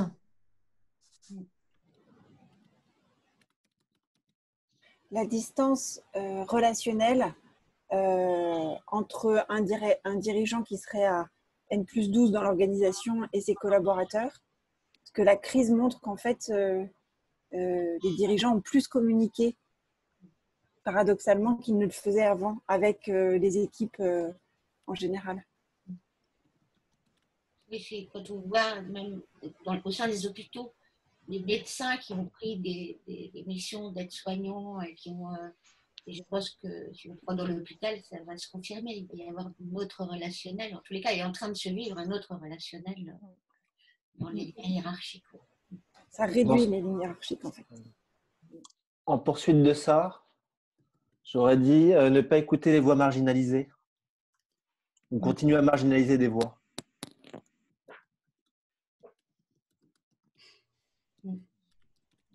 L'idée de, euh, de ne plus transmettre que les, les émotions sont tabous en fait dans les entreprises. Ouais, Il y a Agnès aussi, je crois, hein, qui cherche à. Attends, alors, ne plus transmettre que les émotions. Elles sont un peu tabous et qu'il ne faut pas les prendre en compte. Ouais. Si peut être humain en entier, même dans son entreprise. Il y a Agnès, Agnès et Ina après. Ouais, je- je lève- en fait, ce que je fais, c'est que je lève ma main, mais peut-être que je ne devrais pas, là, ma, main, ma digitale. Tu viens de la voir, tu viens de la voir. Euh, les- ouais, la- une vision déconnectée du réel qui incapacite, en fait, une vision trop éthérée. Mm. Euh, si, si- si je dis ça, c'est qu'on va avoir besoin d'agir et que pour ça, il va falloir pouvoir parler de prochains pas. Oui. Rattraper le temps perdu. Vouloir rattraper le temps perdu, pour moi, c'est un virus. J'entends aujourd'hui des patrons qui disent qu'il va falloir euh, travailler plus pour rattraper le temps perdu. Je ne pense pas qu'on va pouvoir le rattraper, ce temps. Il est passé. Il faut juste le laisser. Il est passé. Il est peut-être pas perdu. Mais il n'est pas perdu, exactement. Donc, vouloir rattraper le temps, je pense que j'en pourrais enlever le perdu. Je le garde en, comme ça, c'est ça, tu veux bien. Pour c'était- Voilà, super, merci. Et, et je compléterai être dans l'illusion qu'on va pouvoir faire comme avant. Oui. Ina, je ne sais pas si tu t'es exprimée. Il y a Christelle. Oui, je me, je me suis exprimée. Je dis la peur et le pessimisme. Et je compléterai, euh, comme si, euh, si, si je peux pas euh, dire quelque chose, c'est euh, inactivité et euh, n'est pas envie de changer. Christelle, tu avais levé la main. se cacher derrière des reportings, des process euh, et qui ne permettaient plus la- de, de donner la confiance à l'autre, en fait. Donc, redonner de la confiance.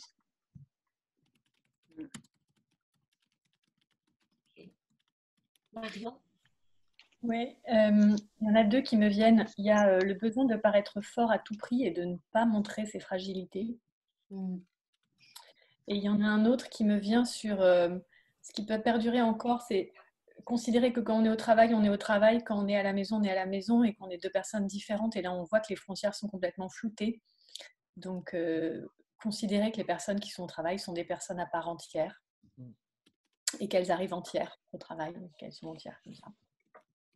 Attends, attends, attends. Les personnes sont à part entière. Enfin, elles, sont- elles arrivent en, tout, hein. elles ne se scindent pas au moment d'arriver au travail. Ça, c'est chouette, hein, ça fait du bien. Euh, Peut-être je vais prendre la parole. Sylvie Oui, euh, le pilotage euh, avec le seul indicateur économique. Oui. Euh, Gwenaëlle, ça rejoint aussi ce que j'allais dire, euh, l'ignorance du besoin d'accompagnement humain. C'est pas du luxe. Christelle? Euh, pour faire écho à je ne sais plus qui, euh, c'est plutôt penser tâche, talent et non pas objectif. Il faut donner, euh, de la valeur à l'homme derrière ses actions. Il y a qui qui cherche à prendre la parole depuis tout à l'heure Merci.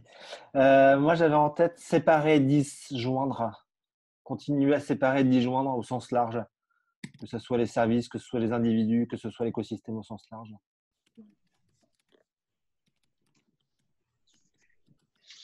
Donc moi, il y a quelque chose qui me... Ah, J'attends que Florence euh, termine. il y a quelque chose aussi dans les, euh, en termes de, de- de virus à ne plus transmettre, c'est l'appréhension des, des nouvelles technologies. Euh, puisque on- on- la réalité que l'on vit, c'est qu'on peut euh, associer plein de choses différentes. Et donc, il y a des complémentarités dans des façons de faire. Donc, euh, je pense que les outils ont montré que euh, les, utiliser intelligemment, euh, ça permet, permet de faire des choses formidables. Donc, ça, c'est une première chose. Et dans cette lignée, c'est euh, la- les, formes de séparation de génération dans les entreprises, où euh, je me dis que voilà, il y a peut-être quelque chose qui est en train de se passer aujourd'hui, où euh, bah, ça, il y, a, moins de silos dans la communication, et, euh, donc c'est sans doute quelque chose qui serait à, ne pas oublier demain et à ne pas mettre des générations à l'écart dans un sens ou dans un autre.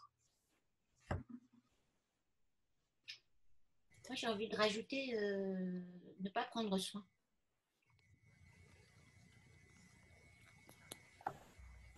Parce que c'est l'essentiel, le- ce qui nous arrive. Et moi, j'avais envie de rajouter par rapport à ça, ce que tu m'enlèves les mots de la bouche, c'est prendre soin, c'est pas euh, uniquement dans le secteur de la santé. Parce que c'est pas forcément les mieux lotis, mais euh, c'est surtout euh, une vraie dimension, euh, je mettrai des guillemets parce que voilà, euh, thérapeutique qui peut être utile dans toutes les organisations. Moi, je dirais euh, arrêter de mettre les gens dans des cases. Il y a des gens qui se révèlent aujourd'hui face à ce qui se passe et on les voit différemment. Isabelle, pour un, un dirigeant, un virus, c'est d'attendre d'avoir la solution parfaite dans sa tête avant de bouger.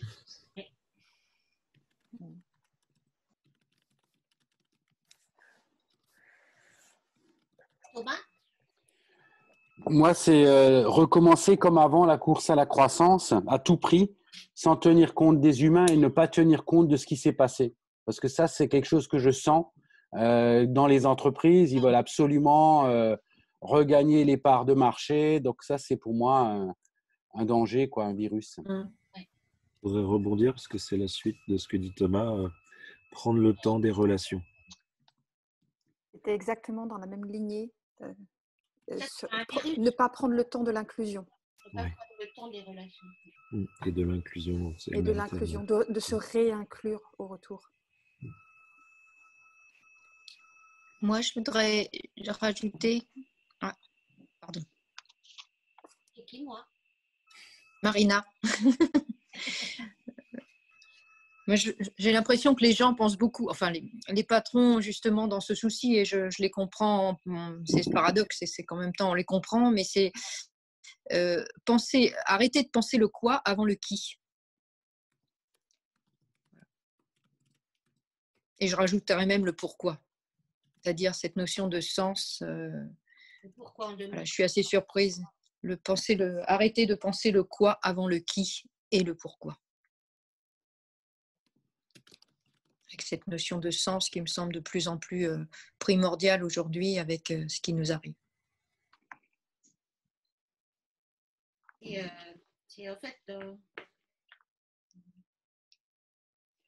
Paul Václavic, en fait, donc comment euh, réussir à échouer euh, Mm. dans la conclusion de, de est-ce que je suis objet ou sujet. C'est un, c'est un vrai thème. C'est un virus, en fait, d'être objet. Mm, mm, mm. Ça me parle énormément. Merci Sylvie. Après, Moi, je voulais ajouter euh, la croyance en un seul type de leadership qui serait un leadership charismatique, parce que je pense que cette crise. Allô? Oui. qui dit allô? Est-ce que vous pouvez vous mettre en mute si vous avez une conversation euh, Merci. Je pense que cette crise fait émerger euh, des nouveaux leaders. Il allait être annulé, donc j'avoue que je suis soulagée. Alors, excusez-moi, j'ai un. Vous pouvez la mettre en mute. Ah oui, c'est vrai, je peux faire ça. Attends, attends, attends. Oui, oui ça j'imagine. Mais alors, je sais pas qui c'est. C'est bon C'est Annie. Annie, est-ce que tu pourrais te mettre en mute Ah, s'il te plaît? Merci beaucoup. Sinon, tu mets tout le monde en mute. Ça y est, j'ai mis Annie en mute. C'est bon. Il faut que tu refuses là.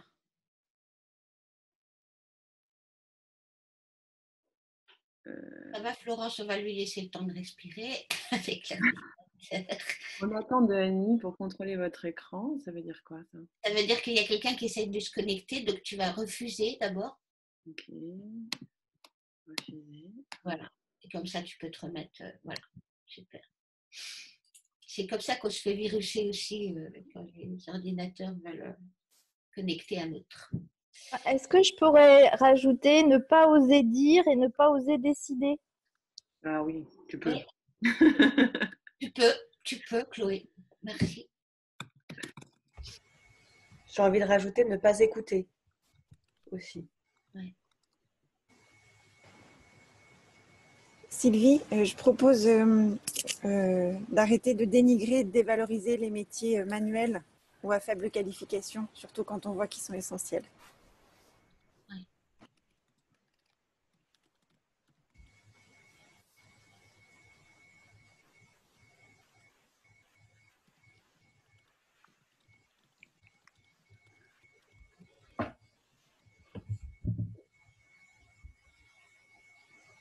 C'est fort, hein, tout ce que vous partagez. Euh, C'est une notion de arrê- arrêter de ne penser euh, qu'au gain économique en sourçant tout en Chine ou à l'autre bout euh, de la planète, hein, quand on est bien content de retrouver des vieilles usines qu'on remet en route en catastrophe pour faire des masques ou euh, du matériel de PLV euh, quand on est une grande boîte de joaillerie.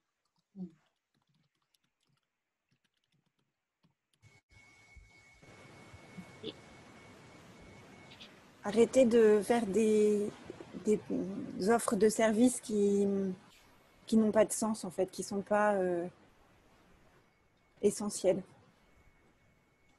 Le côté superficiel, en fait, de, certaines offres de services dont on n'a pas besoin. Créer des produits dont on n'a pas besoin. Ou des services dont on n'a pas besoin.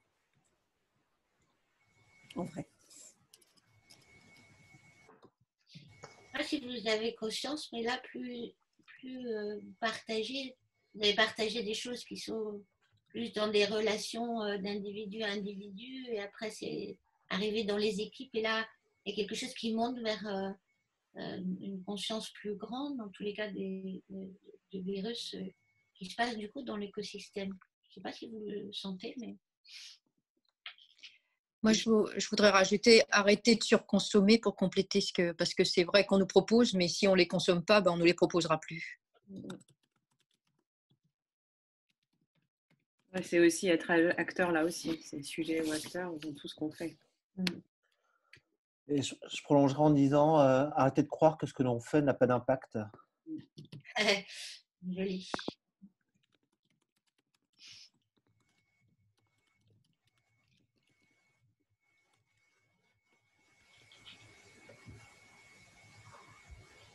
Ça va, vous arrivez à, accueillir toute cette euh,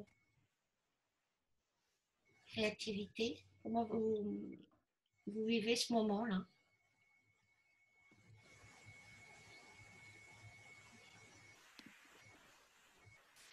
Christelle, euh, c'est beaucoup. il y a tellement de choses que l'on fait pas ou que l'on fait pas, et puis euh, euh, ça, montre la tâche en fait. ça montre tout, ce qu'il y a à faire, tout ce qu'il y a. Et puis pour autant, ça, il y a des choses qui sont challengeantes, voilà, qui, peuvent être perturbantes.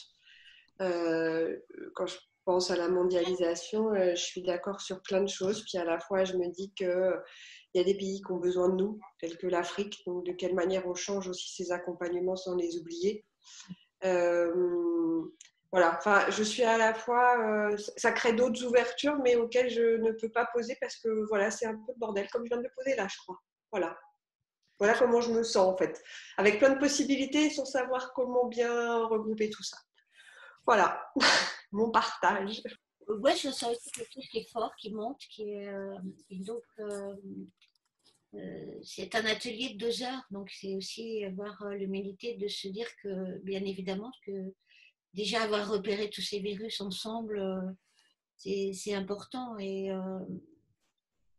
mais du coup, ça peut donner plein d'idées, ça peut servir à plein de situations, autant pour nous individuellement que, que dans, dans, notre métier. Euh, mais en tous les cas, c'est très, très fort, très riche. Euh, du coup, est-ce que. Moi, j'ai levé la main, euh, Alix. Alors, le, comme je vous l'ai dit, le son n'est pas très bon, donc c'est assez haché. En revanche, du coup, je me suis mis en, en position de recul, en position méta. Et ce que je relève, c'est c'est le sens. J'ai l'impression que tout le monde a parlé de sens. et c'est vraiment moi ce qui me, euh, ce qui m'interpelle vraiment aujourd'hui dans ce, dans ce collectif, c'est euh, le sens. Voilà, c'est ce que je voulais partager avec vous. Merci. Moi, j'avais aussi, Gwanaël, envie de partager euh, à la fois déjà une interrogation pour avoir votre point de vue, mais il me semble qu'au tout début de la crise, il y a eu une surabondance de messages, de communication, LinkedIn, ça n'arrêtait pas. J'ai l'impression que ça se calme un peu. Donc, j'aimerais que vous me confirmiez si ça se calme ou pas.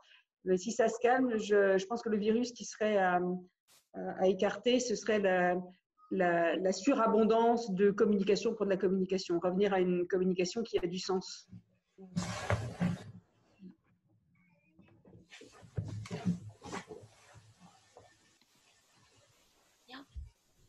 Ça va, Florence?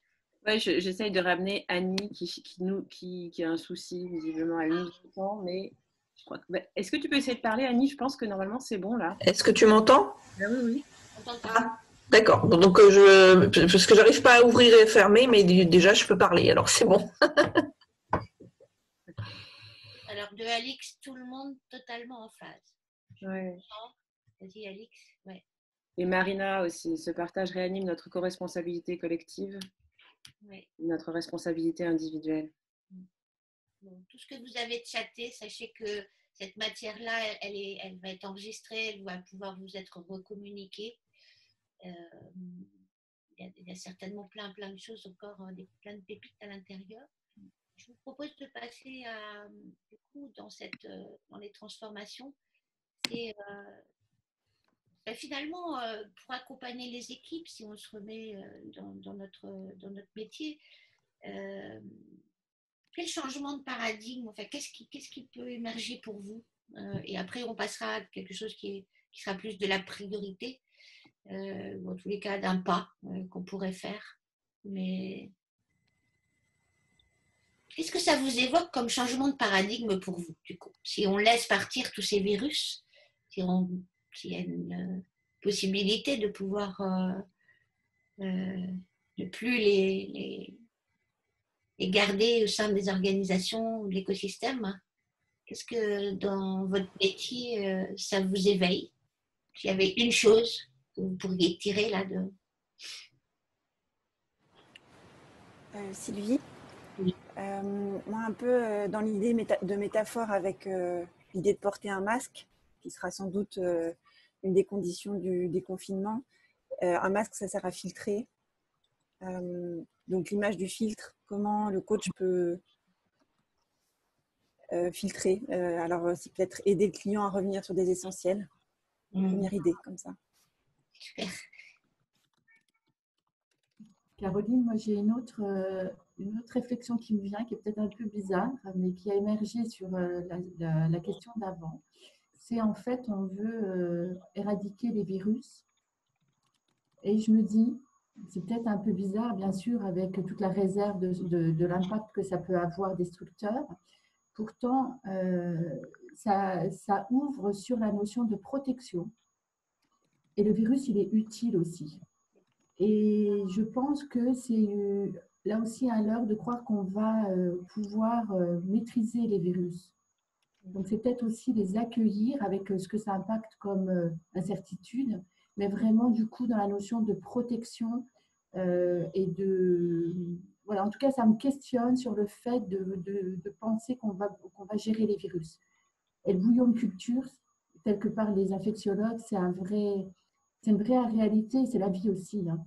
Et c'est aussi la diversité. Je te remercie Christelle, donc je te remercie Caroline parce que ça me fait du bien, parce que je crois que c'était ça que j'étais perdue tout à l'heure. Je me disais mais pourquoi tout retirer? On est des hommes en fait. On a besoin de, on, a nos, nos propres lacunes, on a nos propres difficultés et on sera pas, euh, c'est pas le monde parfait qui va venir demain, mais c'est accueillir quand même nos différences, nos, difficultés, peut-être d'une autre manière. Euh, euh, mais peut-être les, voir d'une autre manière. C'est ça que, j'entends, les aborder d'une autre manière. Euh, je n'ai pas la réponse, mais ça me fait du bien, Caroline, parce que voilà, ce côté-là, c'est comment faire avec. Mais en effet, l'écologie, c'est ça, on fait avec tout. Les orages, ils existent. Les tremblements de terre, ils existent. Et, euh, et l'être humain, c'est ça aussi, quoi. C'est euh, vivre avec euh, bah, qui nous sommes et ne pas retirer tout. On ne pourra pas, en fait. Donc, c'est. Enfin, je sais pas, voilà, il y a quelque chose qui. Peut-être tout à l'heure m'oppressait parce qu'on reste des hommes, on reste avec le virus, il fait mourir, il fait, et l'écologie, c'est ça aussi, c'est on repartira avec tout ça, peut-être différemment, mais il faut accueillir tout ça euh, parce qu'on va pas pouvoir le retirer, mais il faudra faire avec. Et encore plus dans le et peut-être que dans le contre. Euh, voilà, c'est ça que j'entends, c'est le avec, peut-être différemment, mais d'accueillir euh, d'accueillir tout ça. En fait. Je- voilà. Oui, parce que c'est joli ce qui se passe, parce que du coup, du coup le virus, en fait, il, il, il- sauve quelque part, il préserve euh, la, la planète, en tous les cas, il préserve la nature. Donc, et- fondamentalement, il y, a, il y a un enseignement qui est à prendre. Et, c'est joli, là, ce que vous êtes en train de, de- de partager, dans le sens. euh, c'est joli parce que c'est c'est profond, il y a de l'humilité, et, et en même temps, c'est de trouver des choses, quoi, afin de- de- d'avancer et de- de il y a l'humanité qui, est- là, votre, humanité. euh, et ça, dans notre métier, c'est important. Merci pour euh, toutes ces. On continue, merci. Euh, Annie, je pense que les priorités de chacun vont, enfin certains vont changer de priorité.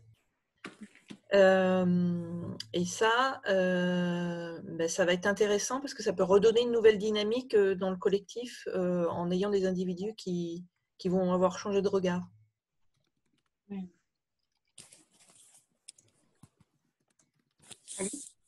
Alix, euh, donc moi je rebondis, il y a une personne qui a parlé de, masques et de métaphores avec les masques.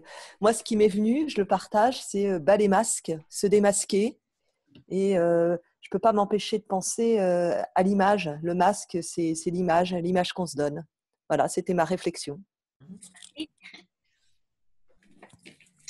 Ségolène, moi j'aimerais parler de vulnérabilité et donc de l'accueillir en collectif et en individuel. Et là, euh, dans cette période où on, voit tous un peu l'intimité des autres par les écrans, etc., euh, par nos états euh, émotionnels chacun, je pense qu'il y a un vrai travail à, amplifier ou en tout cas à poursuivre sur l'accueil des émotions, de la vulnérabilité et l'authenticité de chacun. Mmh. Alors, je voudrais continuer, Ina. Alors, ce qui me vient, c'est... Ina, tu m'entends? Oui. Florence de noter. D'accord. Voilà, laissez. Ah, bon. Merci. Vas-y, Ina. Alors, euh, à ce moment, on prend un virage très important. C'est l'humanité qui prend euh, le virage. Et donc, euh, moi, je pense qu'il faut accepter sereinement ce qu'on ne peut pas changer, prendre la vague de changement et surfer avec elle et aussi euh, prendre le temps de s'arrêter, vivre, vivre différemment. Mm. Merci, Ina. Marina, je peux prendre la parole? Vas-y. J'attends que Florence ait fini de noter. Alors moi, j'ai trois points qui me sont venus en vous écoutant et je vous remercie parce que je suis un peu comme... Euh, alors je me souviens plus de son prénom, mais j'étais un peu bousculée, un peu tout mélangé.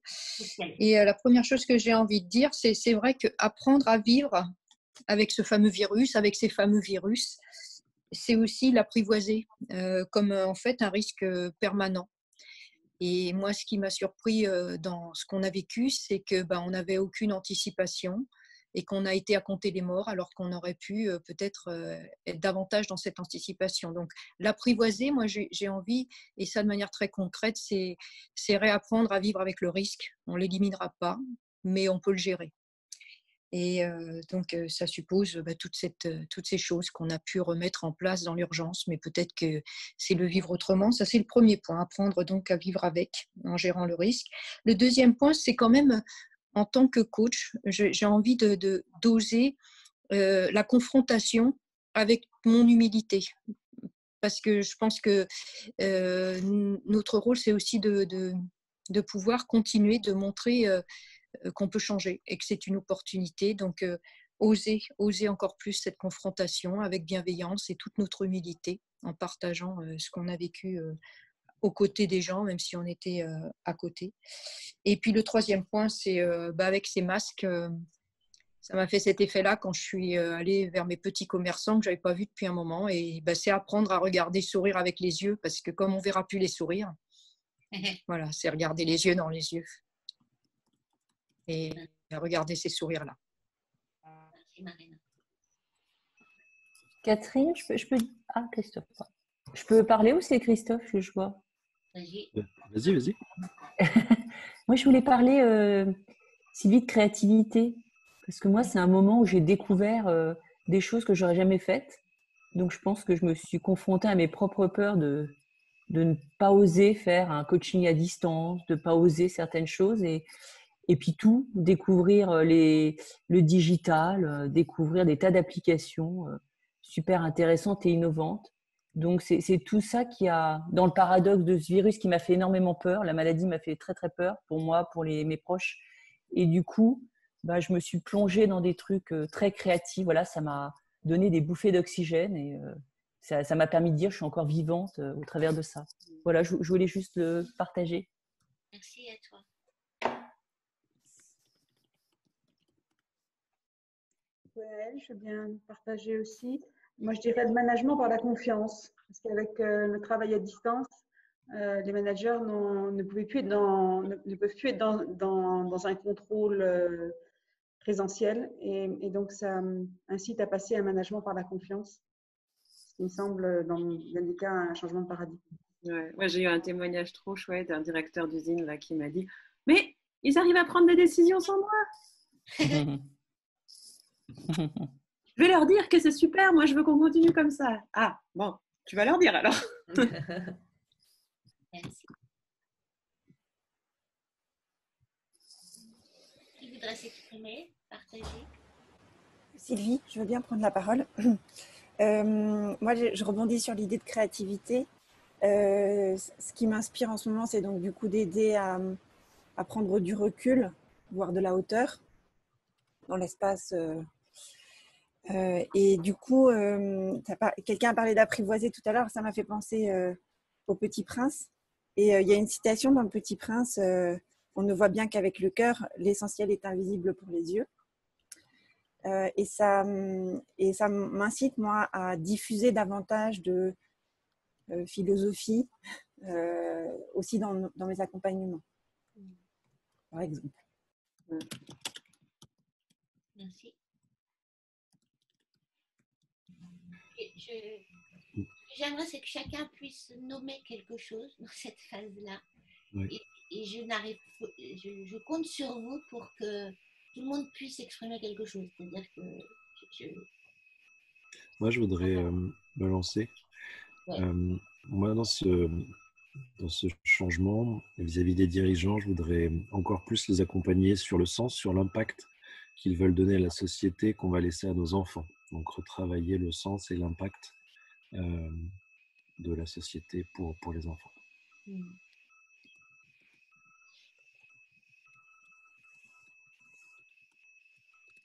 Euh, Agnès, euh, il y a deux choses. Merci d'abord pour tout ce que vous avez dit. Euh, et euh, il y a deux choses qui me viennent. C'est euh, l'envie beaucoup de travailler sur le rapport au temps et à l'espace de manière assez physique en fait. Enfin, d'utiliser le temps et l'espace comme matière de manière plus forte dans mes accompagnements. Et puis l'autre envie que me donne la situation avec les, vulnérabi- les vulnérabilités qu'on a, qu'on a pu découvrir, c'est de travailler plus en mode appréciatif sur les forces, sur ce qu'on a su faire pendant cette période-là, sur, euh, et sur ce qu'on fait de ça. Super. Il y a Isabelle Ferlin qui a chaté. Tu as envie de le partager, Isabelle? Oui, je- je- je- je- pour moi, il y, a, il y a quelque chose qui est assez euh, fondamental aujourd'hui, c'est de vraiment se reconnecter à ces sources de, de motivation profonde dans un monde qui tangue beaucoup. Euh, donc, je, voilà, je, je- je rencontre pas mal de personnes, ou j'échange avec pas mal de personnes qui sont perdues, qui ont des pertes de repères. Et donc, c'est vraiment de se reconnecter. Alors, il y a la notion de motivation, mais c'est de se reconnecter à soi. Alors, pour les organisations, c'est aussi se reconnecter à euh, euh, c'est quoi notre, euh, notre mission première ou pourquoi on est là. hein. C'est la notion de- du, du pourquoi. Donc, il y a un enjeu, je pense, dans tout ce qui est en train de se juger, de, de se connecter, de se reconnecter. Alors, avec euh, tout ce que vous avez évoqué sur euh, les notions euh, d'essentiel, de, euh, de priorité. Mais euh, voilà, il y a quelque chose qui, euh, qui me parle beaucoup là-dedans. Moi, je rebondis sur ce que dit euh, Isabelle. Je pense qu'effectivement, dans le changement de paradigme, les sociétés, elles vont être obligées euh, effectivement de retravailler, si elles ne l'avaient pas fait, sur leur raison d'être et sur effectivement euh, qu'est-ce que c'est agir pour le bien commun. Parce que tous leurs collaborateurs, ils vont avoir un sentiment d'appartenance très fort quand Decathlon a agi, quand Machin a fait des masques, etc. Puis il y a ceux qui n'auront pas fait grand-chose sur aucun domaine. Et là, bah, pour les collaborateurs, tout comme pour les citoyens, ça va être un, sujet où il va falloir prendre la parole et se, effectivement, comme le dit très bien Isabelle, se reconnecter à, ce qui fait l'essence de cette entreprise. Merci. Ouais, je voulais rebondir, Mathieu. Oui, vas-y, Mathieu. Moi, je voulais rebondir en fait les choses. Attends, je- Ça va, Florence tu... tu veux Oui, oui, oui. J'essayais juste de voir, euh, avant Mathieu, juste une seconde, pour pas qu'on l'oublie, j'ai vu qu'il y avait un chat de, sur une histoire de masque, mais pour changer le point de vue des masques. Donc peut-être faudra le formuler après Mathieu pour pas qu'on le perde.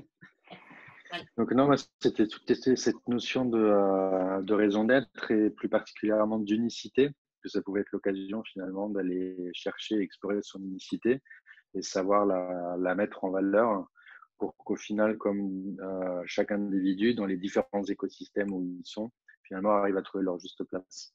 C'est ça que ça m'a donné envie d'explorer moi pour, euh, on va dire, le post, bah, l'après. Oui, d'accord, merci. Donc, du coup, euh, c'est Mathieu qui avait écrit sur les masques Non, c'est pas Mathieu. Dans le chat.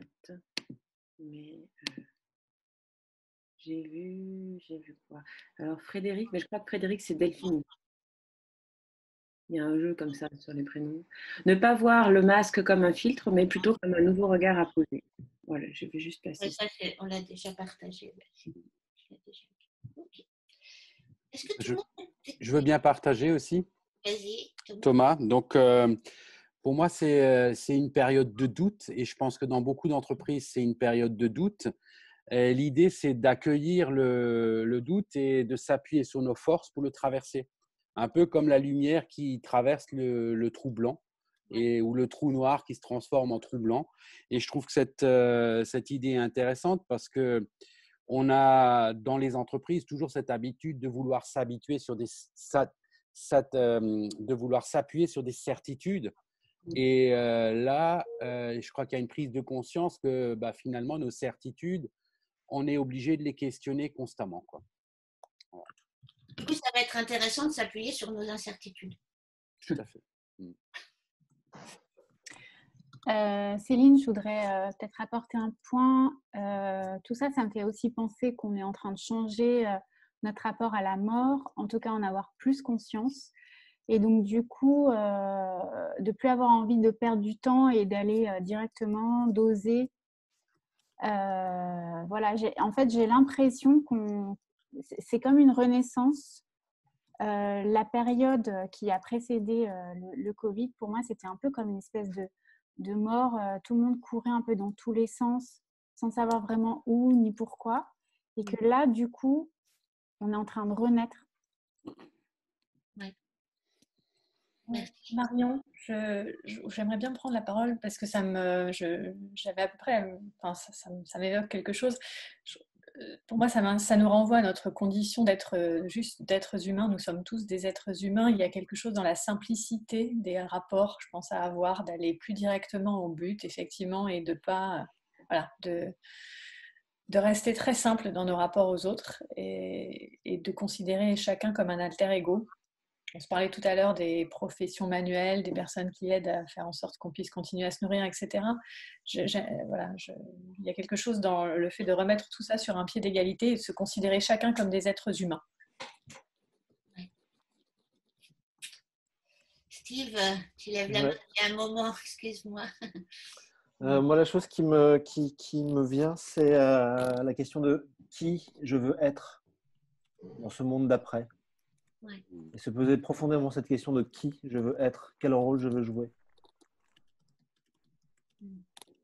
Si. Je veux bien rebondir sur, sur Steve et, et, parler et, et, rebondir aussi sur se reconnecter à soi. Je pense que au moment où, au plan économique, on cherche à relocaliser, à moins dépendre de l'extérieur, je trouve qu'on a un travail personnel à faire dans le même sens, c'est-à-dire d'être mieux à l'écoute de ses besoins, d'être mieux à l'écoute de ses émotions, de sa créativité, de son propre système intérieur. Et, euh, pour tout ça, pour aller chercher ses ressources et, apporter au monde, bien sûr. Hein. Ce n'est pas un mouvement euh, égocentrique c'est un mouvement de mieux se connaître, de mieux, de peut-être moins dépendre de l'extérieur et plus dépendre de soi. je trouve qu'il y a un parallèle entre, ce que, entre l'économie mondiale et soi. Mm. On cherche à relocaliser, à moins dépendre de l'extérieur. Et aujourd'hui, on dépend beaucoup des besoins de l'extérieur et peut-être pas assez de ses propres besoins. Je voulais je te remercie euh, de ce partage parce que je vous ai posé la question quels sont les virus dans nos organisations que nous ne voulons plus transmettre dans l'écosystème. Pour moi, vous avez bien senti, vous avez bien perçu cette euh, notion de dedans-dehors. C'est-à-dire que euh, si je me reconnecte fondamentalement à mes propres virus intérieurs, mais du coup dans mes relations aussi aux autres, et, ça, voilà, on peut le démultiplier dans les, organisations, dans, dans, les pays. C'est parce que je, prends soin de ça et que j'en retire des choses que ça peut ouvrir à, du nouveau. Ça peut ouvrir à cette, transformation, à cette métamorphose. Et, du coup, le dehors va forcément être plus beau pour bah, les, la jeunesse, parler de la jeunesse. Moi, j'ai des petits-enfants. Enfin, il y, a aussi fondamentalement qu'est-ce qu'on a envie de. Comment on peut agir aujourd'hui pour que, pour que demain, euh, euh, ça, soit, ça soit autrement. Quoi. Donc, euh, merci. Merci pour tout ça. Bien. Est-ce que tout le monde a pu s'exprimer sur cette phase? Non, moi je ne sais pas exprimer, Isabelle. je voulais juste parler d'un changement de paradigme euh, pour moi dans l'accompagnement, c'est travailler sur le temps. Euh, moi qui suis beaucoup dans l'action et dans euh, plein d'idées, il faut y aller. Je me dis que prendre le temps d'accueillir mon client et de l'aider à prendre ce temps, de poser ses peurs, de poser le temps où il ne sait pas, ou le temps de se reconnecter à lui avant de se lancer dans l'action et donc de proposer ces espaces de temps où juste il dépose. Mmh. et c'est valable pour moi aussi. Lydie, je t'entends plus. je suis, je suis bien là. Je suis assez. En fait, il y a plein de choses qui ont été dites déjà. La notion de sens, la notion de, de collectif avec chacun sa part, comment est-ce que je peux contribuer, comment est-ce que je peux aider les autres à trouver leur euh, contribution aussi. Euh, la notion de motivation profonde, la notion de dedans-dehors, euh, la notion, enfin, on parlait d'enfants et j'ai eu un, échange en aparté avec Christophe. j'ai une petite de 4 ans, enfin, effectivement, je me dis comment est-ce que je peux, qui n'a pas encore 4 ans, euh, comment est-ce que je peux lui transmettre des choses et en même temps, comment est-ce qu'on peut améliorer pour les générations à venir? Voilà, je suis un peu euh, dans le, dans le doute. J'ai été profondément affectée également par l'idée de mort, notamment pour des proches. J'ai été, euh, voilà, je, suis un peu en, en, termes aussi de sens ce que je produis aujourd'hui, moi je ne suis pas coach euh, en activité, j'étais RH et je viens de passer sur un autre poste où il y a une dimension euh, clairement qui n'a pas de sens du tout, euh, mais qui est là. Donc voilà.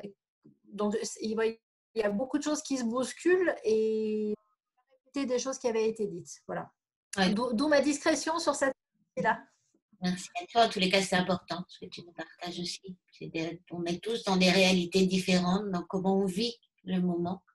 Et, le, le, fait que tu puisses aussi le partager, ben, ça, ça, résonne avec nous. voilà, je, partage ça.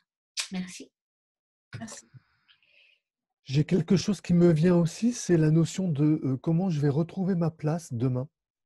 Oui. Et qui que ce soit, que ce soit le dirigeant, que ce soit le manager, que ce soit le collaborateur, on ne sait pas comment on va reprendre et comment je retrouve ma place ou comment je me positionne de façon différente? C'est riche hein, tout, ce que vous partagez là. Hein. Merci. Bien. Alors, Quelqu'un d'autre? Oui, oui. Enfin, euh, parmi les outils de, mosaïque, je pense qu'il y en a un qu'on peut aussi travailler, c'est les vagues du changement. Parce qu'on a subi un changement, exprimer où on en est de cette courbe, chercher la percée, le type de percée. Ça m'a fait penser ça. Ouais. Merci.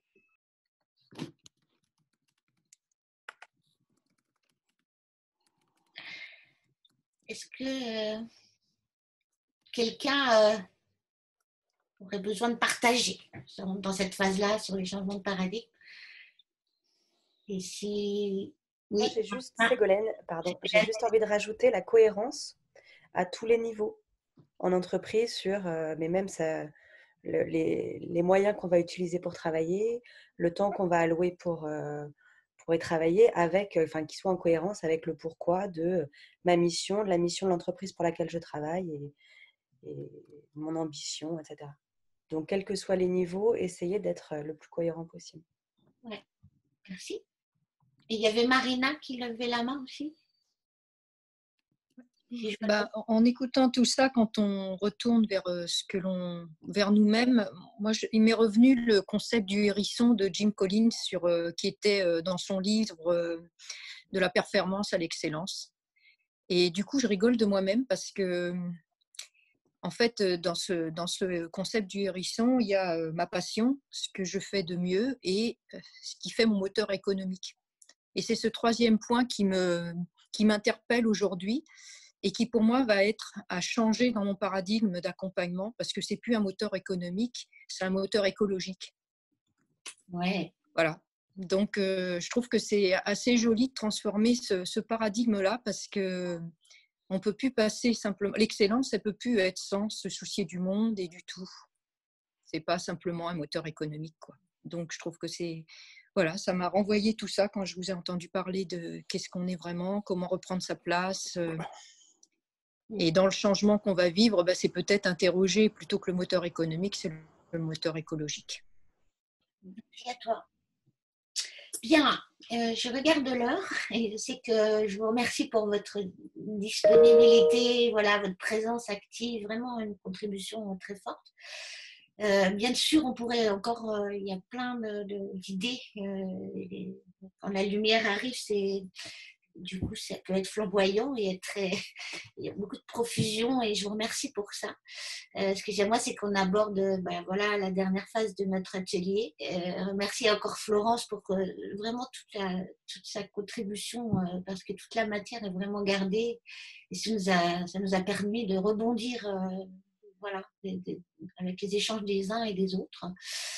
Euh, du coup, ce que j'aimerais, c'est, je vous avais proposé de noter au début votre réflexion, euh, de regarder après les enseignements, euh, certainement des, choses qui, qui, ont cheminé là avec des, éclairages, hein, des, changements de, de, paradigme qui vous sont, qui ont émergé pour vous. Et ce que j'aimerais, c'est qu'on aborde maintenant la, la récolte quelle, serait la récolte euh, et puis peut-être que comme il est urgent d'aller doucement, c'est d'être, euh, ça serait quoi la, le, petit pas euh, qui, que vous aimeriez en fait explorer avec les équipes ou quand vous êtes dans vos équipes ou pour vous-même. Mais qu'on conclut avec ça. Puis on est bien évidemment avec Florence, comme on a un deuxième atelier on en fait un deuxième le, 29 avril. Hein. Euh, voilà, on peut prendre aussi vos feedbacks, accueillir vos feedbacks. Euh, voilà, et ce qui serait bien, c'est que euh, voilà, nous prenions une quinzaine de minutes pour que nous reste cinq minutes à la fin pour qu'on vous annonce encore des choses. Voilà. je suis sûre que voilà, le, temps va, va, nous servir encore et que ça va être une réussite de pouvoir euh, s'exprimer tous et toutes et euh, voilà, de tenir le temps. Merci à vous. Euh, moi, je veux bien commencer, Annie. la semaine prochaine, j'ai une réunion pour organiser la reprise d'un point de vue managérial et je pense que je vais euh, faire passer l'idée qu'avant tout, il va falloir euh, récupérer euh, un petit peu ce qu'on a fait aujourd'hui, en fait. Récupérer un peu où en sont les équipiers, comment ils ont vécu ça et, pouvoir du coup s'adapter un petit peu sur une reprise en évitant ben, plein de virus, en essayant d'éviter en tous les cas plein de virus qu'on vient d'identifier. Euh, ça me donnait de la matière pour pouvoir euh, donner des idées de, réflexion euh, sur comment redémarrer avec beaucoup d'écoute. Merci. est-ce que vous pouvez faire votre feedback en même temps? Sur. Ben, alors moi, moi, ma réflexion du moment, c'était chamboulement des, des repères euh, ben le, fait d'avoir euh, partagé, euh, en fait, je me rends compte que je ne suis pas la seule, bien sûr, à avoir ce chamboulement. Et, et ça m'a donné à la fois de. Ça m'a apaisé. ça m'a apaisé dans, dans, dans, dans, toutes les questions que je me pose, qu'en fait. Et, et, ça m'a donné envie de, de, bah, de, construire un chemin. Euh, j'ai plein d'idées là qui sont, que j'ai partagées euh, en vous écoutant. Et, et vraiment, ça m'a apaisé. Aujourd'hui, je, suis, je me sens apaisée au bout de, de ces deux heures partagées. Merci à toi. Merci. je veux bien prendre la parole. Euh, alors, ma, ma, pépite euh, du jour, ma récolte, euh, ça va te parler, Sylvie, par rapport à notre séance d'hier, mais je parlais tout à l'heure de changement de paradigme avec le management par la confiance. Je me suis rendu compte après que c'était aussi un message que je pouvais m'envoyer à moi-même. donc, me faire, faire plus confiance à l'avenir, avoir plus confiance à l'avenir, faire plus confiance à mon corps et à mon cœur, y compris dans mes accompagnements. Donc, ça, c'est une, belle récolte pour moi. Et merci pour, euh, pour la façon dont vous avez animé euh, cet atelier, pour votre fluidité hein, entre vous deux, Florence et, Florence et toi, Sylvie. Merci. Caroline, moi je veux bien continuer. Donc, mon, mon, départ, c'était la nouvelle saveur de l'instant présent et du silence. donc, première chose, je voulais dire que je viens de passer deux heures qui sont juste merveilleuses. Et le fait d'être ici, là, maintenant, euh, dans des circonstances et de savourer chaque seconde, bah, c'est juste euh, magique. Donc, pour l'avenir, euh, bah, je me dis que c'est à reproduire parce que franchement, pour nous, coachs, en tout cas, c'est une vraie bouffée d'oxygène. Et la seule chose que j'ai envie de dire, c'est apprenons à vivre. Simplement. Mm. C'est quoi la vie? Merci, Caroline moi, je vais bien prendre la parole, Mathieu. Je voudrais vérifier. Euh, Excuse-moi, Mathieu. Florence, est-ce que euh, tu, tu, as envie de peut-être accueillir le feedback et que moi, ce que je vous demanderais, c'est d'aller écrire pendant que chacun s'exprime sur le chat la synthèse de votre récolte et, votre retour pour que Florence puisse aussi euh, voilà, se nourrir du retour profiter du retour. Est-ce que ça te va, Florence? Ouais.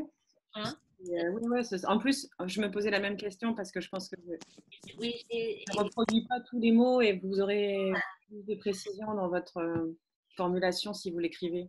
Voilà, donc si vous pouvez aller euh, on a, fait le choix de ne pas partager un écran blanc euh, dans notre. Mais si vous pouvez aller, une fois que vous l'avez dit, aller écrire sur chat en fait euh, votre récolte et puis euh, votre feedback. on enregistrera tout à la fin et du coup ça va, ça va permettre à Florence de, d'accueillir et de se reposer.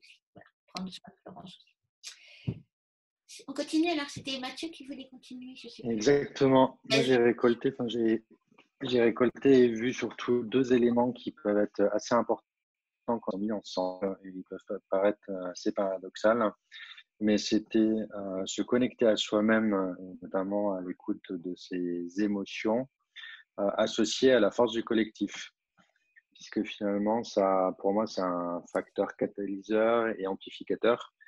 Et ce qui permet finalement, par rapport à ma réflexion du début, d'être totalement confiant dans l'exploration de l'inconnu en étant connecté à soi-même, avec les autres, finalement, on peut arriver en toute confiance à explorer l'inconnu.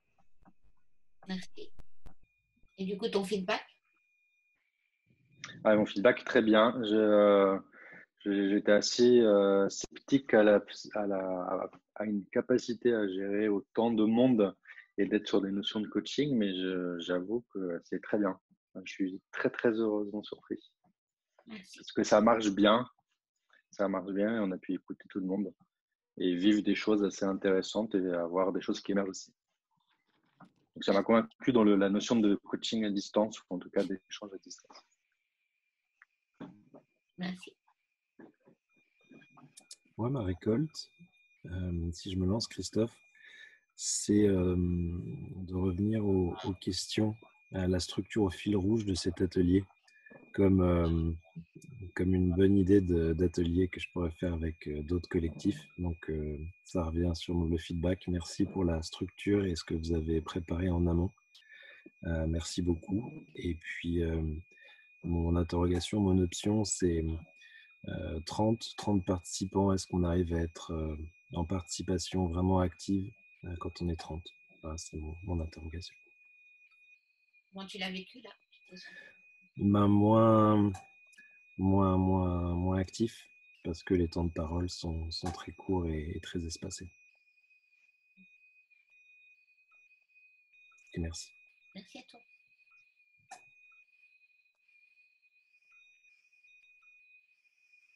Et d'autres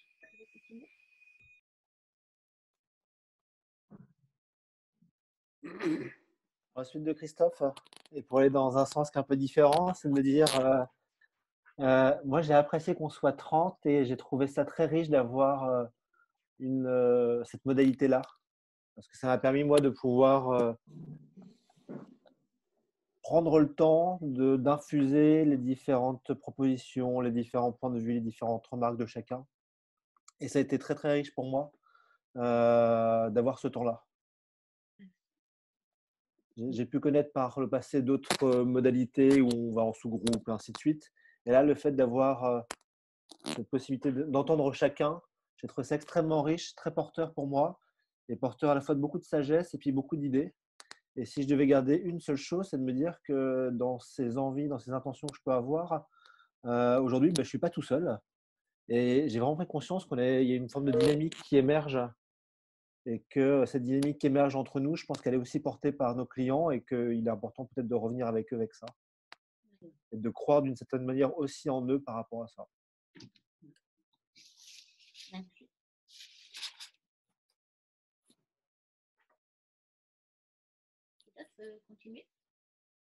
Je veux bien continuer, Thomas. Donc, euh, moi, dans cet atelier, j'étais un peu euh, bousculé, interpellé. Il y, a, beaucoup de doutes qui sont apparus et hum, finalement, j'ai un peu vécu comme dans le confinement la, courbe du deuil, c'est-à-dire qu'il y a un tas de choses qui s'est passé, une espèce de sidération. Et euh, ma pépite, c'est d'accueillir euh, ces moments, d'accueillir les hauts, d'accueillir les bas. Et ça m'a donné plein d'idées pour, pour approcher différemment mes, mes, clients et surtout d'oser, d'oser les emmener sur des, sur des chemins qui sont un peu qui sont un peu différents, qu'ils n'ont pas l'habitude. quoi. Mmh. Voilà. Et sinon, c'était très intéressant et je vous remercie pour votre animation. Merci à toi. Tu es sorti de la sidération, là, ça va? Ça va, oui. Merci. Euh, Isabelle, ma récolte, c'est euh, d'accueillir euh, mes clients dans leur temps nécessaire à la bouillie de chenille et m'accueillir moi pareil dans ce temps-là. Le temps qu'il faut et pour qu'ils puissent se connecter à l'essentiel, s'ancrer, mmh. prendre le temps de ce passage-là. Et mon feedback, moi j'ai beaucoup aimé les parallèles avec le monde du vivant, les baleines, le cosmos. Moi, c'est un sujet que j'aime beaucoup, sur lequel je travaille beaucoup. J'ai bien aimé ça. une option, c'est de proposer un, un, partage sur les peurs, les dénis, les colères qu'on pourrait avoir sur ce sujet-là. Merci à toi. Parce que comme on va refaire, on va prendre vos options. Marina, je veux bien. Je veux bien prendre la suite. Marina. moi, j'étais arrivée sur. je voulais sortir de l'ombre hein, pour réanimer les liens. Alors, ce qui est intéressant, c'est que je me suis reconnectée à moi-même grâce à vous, grâce à vous tous, et euh, bah, finalement en reconnectant des liens euh, entre nous. Euh, et puis, ça me donne des pistes pour partager cette possibilité de renaissance, pour laquelle j'avais quelques doutes avant d'arriver à l'atelier. Et là, j'ai retrouvé une sorte d'énergie qui me permet d'avoir envie de partager ça. Et puis, ça, me donne des pistes pour pour aller de l'avant. Donc, euh, c'est vraiment une bouffée d'oxygène, une bouffée d'énergie. Merci à vous tous.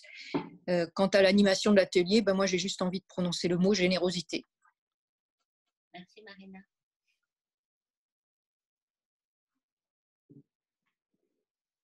Alors, moi, j'ai envie de continuer. Euh, c'est Ina. donc, moi, les récoltes pour moi, c'est avancer en confiance ne pas attendre le, temps idéal pour avancer. Quelqu'un qui a dit ça, j'ai trouvé ça génial, je m'y retrouve. et euh, prendre le temps pour la connexion à soi et, aux autres.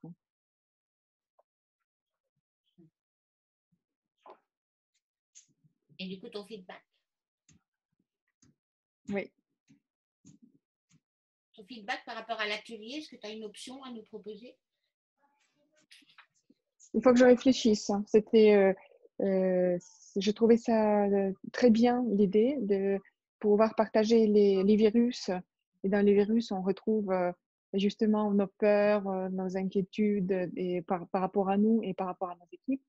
Et, et ensuite, euh, avancer sur tout ce qui est, qu'est-ce qu'on va proposer demain. Et pour l'option, je ne sais pas encore. Comme c'est aussi la première pour moi en visio, il faut que je réfléchisse. Ça sera la prochaine fois. On va nous l'envoyer après, merci.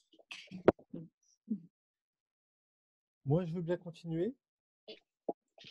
Euh, alors moi, j'étais arrivé avec restaurer la confiance et j'étais plus parti sur, euh, euh, dans les organisations, peut-être managers et collaborateurs, euh, où on entendait on ne peut pas faire de télétravail, on ne peut pas techniquement. Et là, face à la crise, ils ont trouvé des solutions. Donc, il, va falloir restaurer cette confiance-là du collaborateur qui a travaillé à distance et le lâcher prise.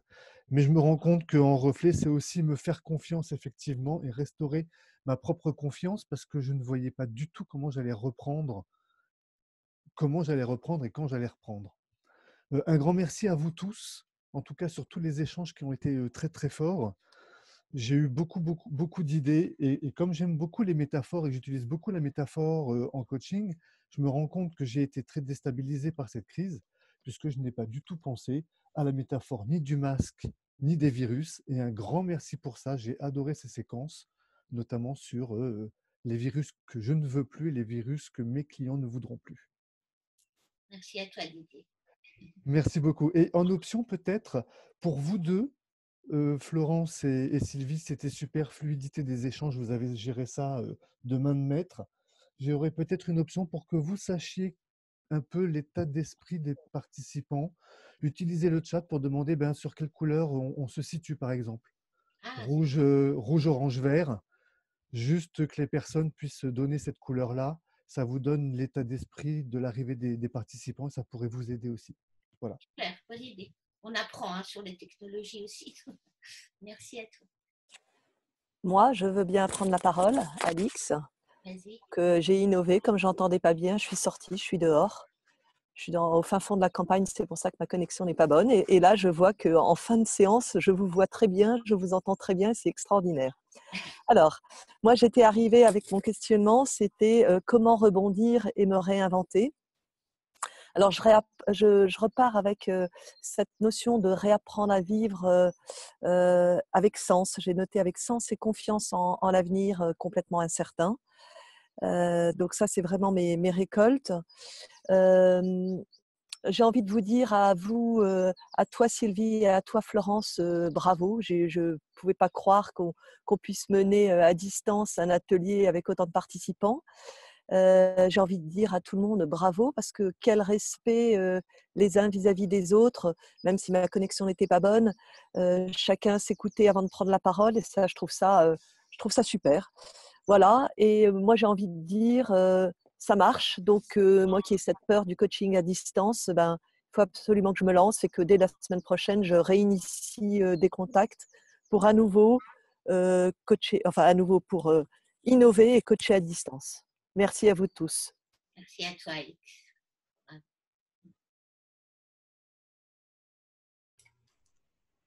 je veux bien y aller, Marion.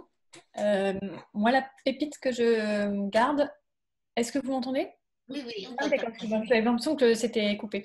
Euh, la pépite que je garde, c'est que en tant que coach, nous faisons partie de, l'écosystème et qu'il est très important que nous soyons à l'écoute de ce que nous vivons personnellement euh, pour être en capacité d'accueillir ce que nos clients vont, nous livrer, pour être en capacité de les accompagner à déposer ça au moment de la reprise et à repartir sur des bases. Donc, euh, nous sommes notre propre outil. Je pense que prendre soin de l'outil que nous sommes dans cette période de crise nous aidera à bien prendre soin des équipes qu'on va accompagner par la suite. Euh, et en feedback de l'atelier, c'était super. Vous, voilà, vous avez super bien géré ça. Je trouve que les échanges ont été top. On ne s'est pas coupé la parole, quasiment pas. Donc, euh, bravo. Euh, bravo Sylvie, bravo Florence. Et Florence pour la prise de notes, c'est super. Et, euh, et mon option, c'est d'en faire d'autres. Merci. Ça te donne envie à tous les cas. Merci. Qui d'autre? Oui, je veux bien. Euh, Lydie, euh, j'ai beaucoup aimé cet atelier. Alors, pour avoir eu la chance de participer à l'atelier sur le coaching créatif hier, je savais que c'était possible. Je le redécouvre là. Une option, ça pourrait être pour euh, satisfaire à une prise de parole peut-être un peu supérieure, de hum, proposer des sous-groupes. Le fait de partir en sous-groupe et de revenir en collectif après, ça peut être une option. Voilà. Euh, ma, enfin, mon idée de départ, c'était de voir quelle contribution est-ce que je pouvais avoir dans l'état actuel des choses. Euh, je repars avec des pistes et je repars d'une part avec des pistes pour demain et à titre individuel et en contribution pour du collectif et je repars aussi avec euh, le sentiment de pas avoir, euh, de pas être seule dans, mes réflexions. J'ai entendu plein de, plein de, voilà, de- de réflexions, pensées. Peurs euh, qui, qui rejoignent parfois euh, ce que j'ai pu euh, ressentir ou ce que je ressens encore. Donc, je vous en remercie sincèrement. Et puis, on retrouve l'esprit mosaïque, voilà, de la confiance quasi euh, immédiate dans les relations. C'est chouette. Merci beaucoup. Merci à toi. Isabelle? Vas-y, Isabelle. Donc, euh, tout d'abord, merci à toutes les deux pour, le, pour ce, chouette atelier. C'était un, bon moment. En tout cas, moi, je me sens euh, pleine d'énergie à la fin. En termes de récolte, euh, donc, il y a deux choses qui, euh, qui émergent là. C'est d'abord accueillir et valoriser le temps que l'on a, notamment dans l'accompagnement. Donc ça, euh, c'est clarté limpide. Et le deuxième point, c'est ça renforce les notions de questionnement sur l'importance du sens, de l'unicité et de la raison d'être. Voilà. Et en termes de feedback sur l'atelier, euh, pour moi, j'ai trouvé que c'était un atelier qui met en action euh, l'écoute et l'échange et euh, qui a vraiment permis de prendre en compte la diversité et la complémentarité de chaque vécu, tout en prenant le temps. Et ça, c'est vraiment quelque chose que j'observe. J'ai fait pas mal d'ateliers récemment, voilà, où je trouve que ça allait vite. Et donc, on était encore dans cette espèce de mouvement et de, pattern où il faut aller vite, il faut aller vite. Et donc là, voilà, je vous remercie aussi pour le temps que l'on a pris euh, pour pouvoir euh, ben, justement faire que chacun puisse s'exprimer, même si on est 30. Merci. Est-ce que, Florence, tu pourrais nous retirer le partage d'écran? Voilà. Merci, c'est gentil. Je n'ai pas la main. Qui ne s'est pas exprimé, qui voudrait s'exprimer? Euh, Agnès? Euh, Alors, dans mes pépites, il n'y en a pas qu'une. Euh, non, mais principalement, en fait, moi j'étais arrivée avec cette contradiction euh, entre l'urgence de la reprise et de la pression probable et le temps, le temps utile, nécessaire de recul et de, digestion. Et je repars avec, avec, je dirais principalement, en fait, parce qu'il y en a pas mal, mais accueillir, accueillir le doute, euh, accueillir le doute autant de mes clients que le mien. Euh, et pour ça, euh, l'importance de se reconnecter à soi et au sens que l'action peut avoir, autant pour mes clients que pour moi. Donc voilà, donc ça c'est, voilà, je repars du coup avec plus de courage. Merci. Euh, et puis sur le feedback, alors moi j'en ai fait pas mal, des, euh, zooms comme ça très nombreux. Euh, et, merci parce que c'était effectivement, je crois, le premier dans lequel j'ai eu l'impression d'avoir le temps de ne pas, pas être sous pression. Donc ça, c'est très, très appréciable et beaucoup moins fatigant. Parce que mais je trouve ça très fatigant d'être sur écran comme ça en permanence. Les zooms, c'est très fatigant, plus que le présentiel, je trouve. Et donc là, c'est absolument euh, admirable, merci.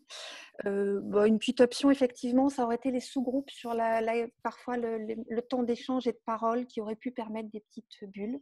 En même temps, j'ai vraiment beaucoup apprécié la dynamique euh, du grand groupe, qui est difficile à tenir, je trouve. Donc, euh, donc bravo. Merci à toi. Merci à vous. Il y, a, il y en a- il y a plusieurs personnes qui quittent parce qu'on arrive à midi et qu'ils ont notre rendez-vous. Je ne sais pas où on en est du tour. Oui. Euh, Moi, je veux bien prendre la parole, Jean-Marc. Ah. Euh, moi, moi, ce que je retiens, c'est que ce virus nous montre que l'avenir est incertain, qui aurait pu le prévoir et qui aurait pu prévoir les conséquences. Donc, par rapport à ça, ce que je veux, c'est être dans ici et maintenant et tenir compte de mon écologie personnelle. Il y a l'écologie du monde et puis il y a la mienne. Mmh. Et, et je pense qu'en faisant ça, l'avenir sera beau. Euh, sur euh, le feedback, euh, merci à tous, ça a été très riche. Merci à, à l'organisation, ça a été, je trouve, absolument superbe. Je pense que c'était plus riche qu'on travaille tous en groupe, tous ensemble qu'en petit groupe. une option, c'est de recommencer. Et puis peut-être une autre option qui serait que chacun s'exprime avec du jeu. Moi, j'ai trouvé que sur la partie virus, c'était plus des, choses qui concernaient les autres que ce qui nous concerne nous euh, euh. Voilà, c'est une deuxième option. Merci à tous. Merci à toi, Jean-Marc.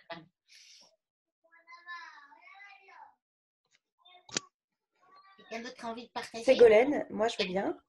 Euh, alors moi, je repars avec beaucoup de satisfaction dans, je parlais de cohérence tout à l'heure, mais la cohérence de ma reconversion assez récente en coach, euh, dans euh, la co-construction du monde de demain, parce que je trouve qu'on va avoir un rôle euh, hyper important. donc je suis hyper, je me sens hyper alignée et donc je suis vraiment dans l'envie. Donc ça c'est chouette. Sur le feedback, merci les filles, vraiment super. Moi c'est la première fois que je fais un zoom à aussi nombreux et un zoom tout court et en plus sur la thématique du coaching, donc je suis ravie. Euh, c'était, je trouve, des questions de qualité. Effectivement, comme je ne sais plus qui le disait, il y avait beaucoup de temps pour euh, se poser, euh, intervenir et intégrer un petit peu ce qui avait été dit. Et sur les options, je rebondis sur l'option de Didier qui est peut-être de, donner un peu son humeur en début de, Zoom, peut-être aussi pouvoir donner son humeur en fin de Zoom. moi, je pense qu'en fin de Zoom, en tout cas, j'ai des papillons dans le ventre et j'ai envie d'avancer. Euh, donc, euh, je trouve ça chouette. Merci. Merci Ségolène. On va, avoir des papillons de la fin aussi, je pense. Qui n'a pas donné un petit mot Catherine? Bah, Sylvie, euh, bah, je voulais vous remercier. Moi, je ressors très sereine. Ma récolte, c'est vraiment beaucoup de sérénité. Et puis, comme une personne le disait, bah, il y avait beaucoup d'écoute et c'est pourtant je pensais que ça serait très long, 9h30 midi. Je me suis dit, ça va être long, il y aura du monde et tout. Finalement, moi, je me sens hyper sereine, hyper apaisée, très confiante pour la suite, justement. Pour mon prochain coaching à distance où nous sommes 11, et là, je me dis, mais ça va être super fluide. Hein, parce qu'à 30, c'était, euh, c'était incroyable. Donc, euh, ça me rassure. Et en feedback, bah, merci euh, à vous deux d'avoir pris ce temps pour nous, parce que c'est du temps. Et, et j'ai trouvé bah, passionnant tout. j'ai tout noté, bah, une très belle structure, une très belle avancée pour chacun, voilà, pour, pour notre propre récolte. Et puis, bah, les options ont été données. C'est vrai peut-être de faire aussi d'autres ateliers avec des petits groupes aussi. Mais j'ai bien aimé tout le monde. Mais c'est vrai que si on avait voulu s'exprimer un peu plus, chacun, peut-être aussi d'en faire avec moins de personnes. Voilà. Mais merci beaucoup, Sylvie. C'était un plaisir de te voir dans ce confinement. Merci tout le monde a pu dire un petit mot, d'accord Make-up et. Jean-Christophe a activé sa main. Oui. Est-ce que vous êtes connecté de loin, donc dites-nous aussi. ah, merci. Merci. Euh, Aujourd'hui, j'inspirais beaucoup. Euh, je suis inspiré beaucoup. des idées brillantes, euh, intéressantes. Euh, euh, que les coachs de musique ont nous apporté et généré. Et, euh, L'atelier élargit mon, mon, horizon. En fait, j'adore la conception de mosaïque comme brainstorming. Et j'utilise beaucoup euh, dans mon travail aussi. merci. En plus, merci, merci aux préparatrice. Euh, et j'ai aucune option. Merci Karim.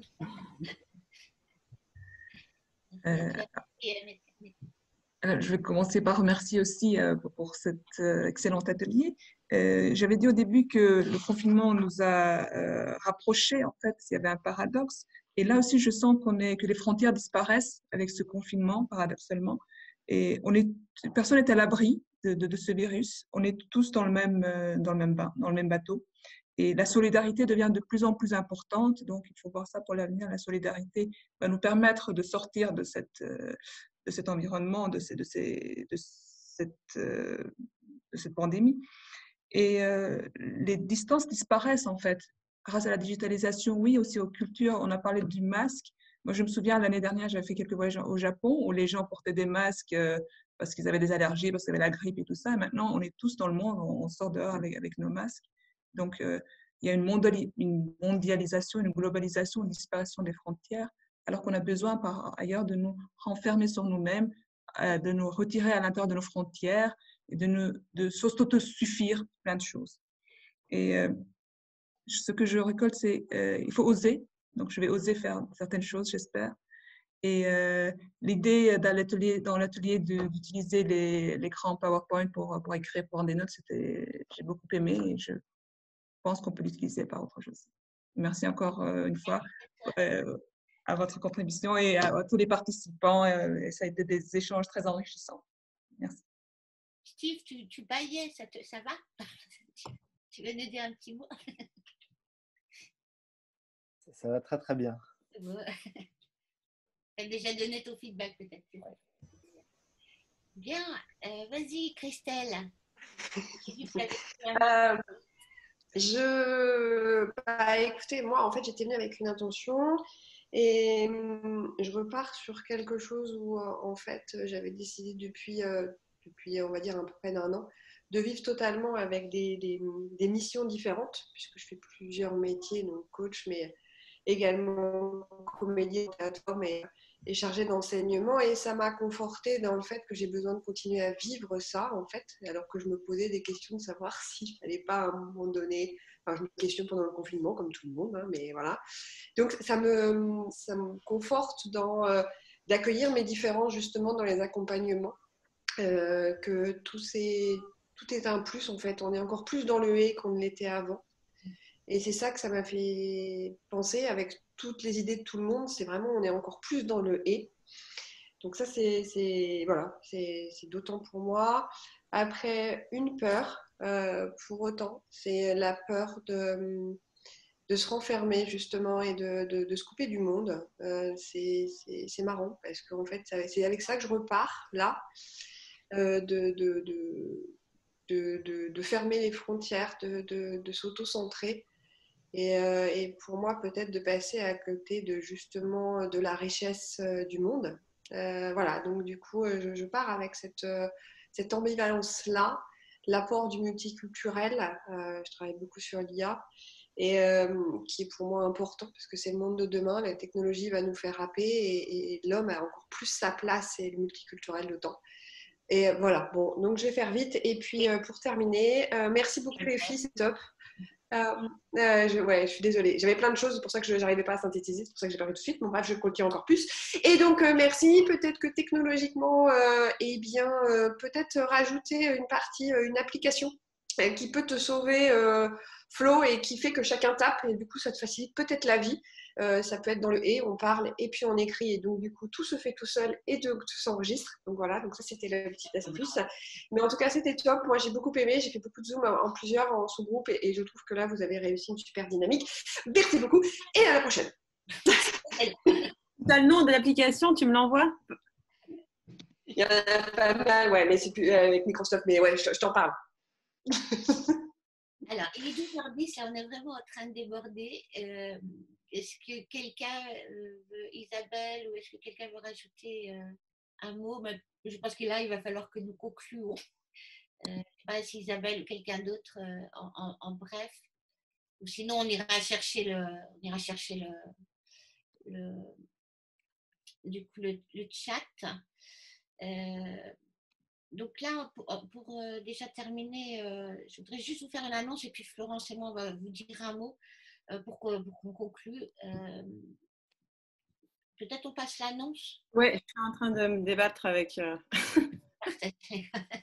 j'arrive, j'arrive, j'arrive. Hop.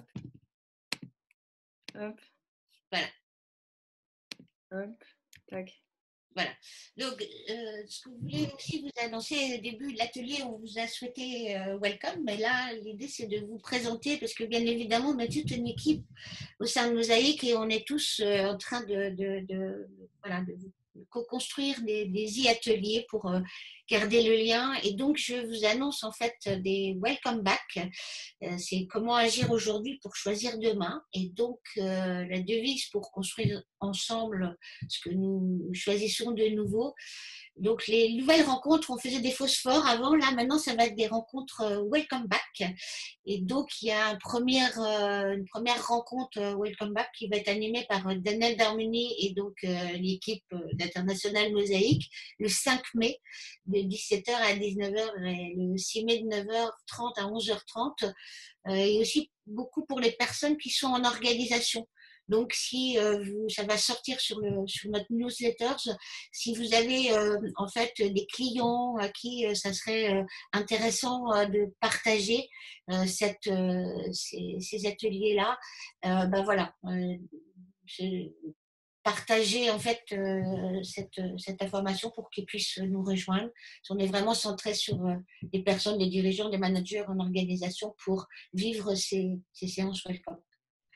Voilà, je te passe la main, Florence, pour conclure. Et puis, un petit mot en conclusion aussi. Merci. Merci, à tous. hein. Merci à tous d'avoir joué le jeu. Merci Sylvie euh, de m'avoir embarqué là-dedans. C'était bien chouette de pouvoir préparer ça et de pouvoir le vivre avec tous. Euh, je suis marquée par l'intensité de.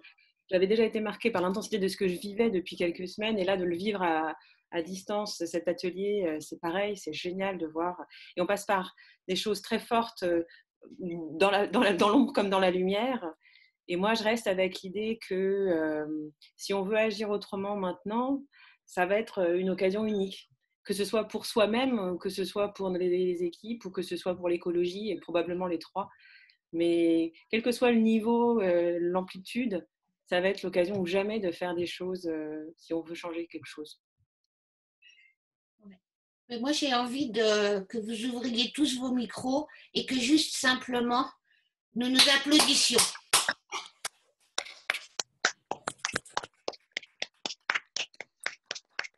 Voilà. Bravo à vous. Prenez soin de vous et de vos clients. Et euh, ben, une autre fois pour une nouvelle aventure. Merci à vous. Merci beaucoup. Merci. Bonne journée à tous. Merci. Merci beaucoup. journée. Ciao. Merci. Merci. Bisous. Bisous, bisous. Merci Florence, bravo. Salut, merci à toi. Merci. Merci, au revoir. Un grand, grand merci. Changez Merci. rien. Merci à vous tous. Changez Ouais. rien. C'était génial. Ciao.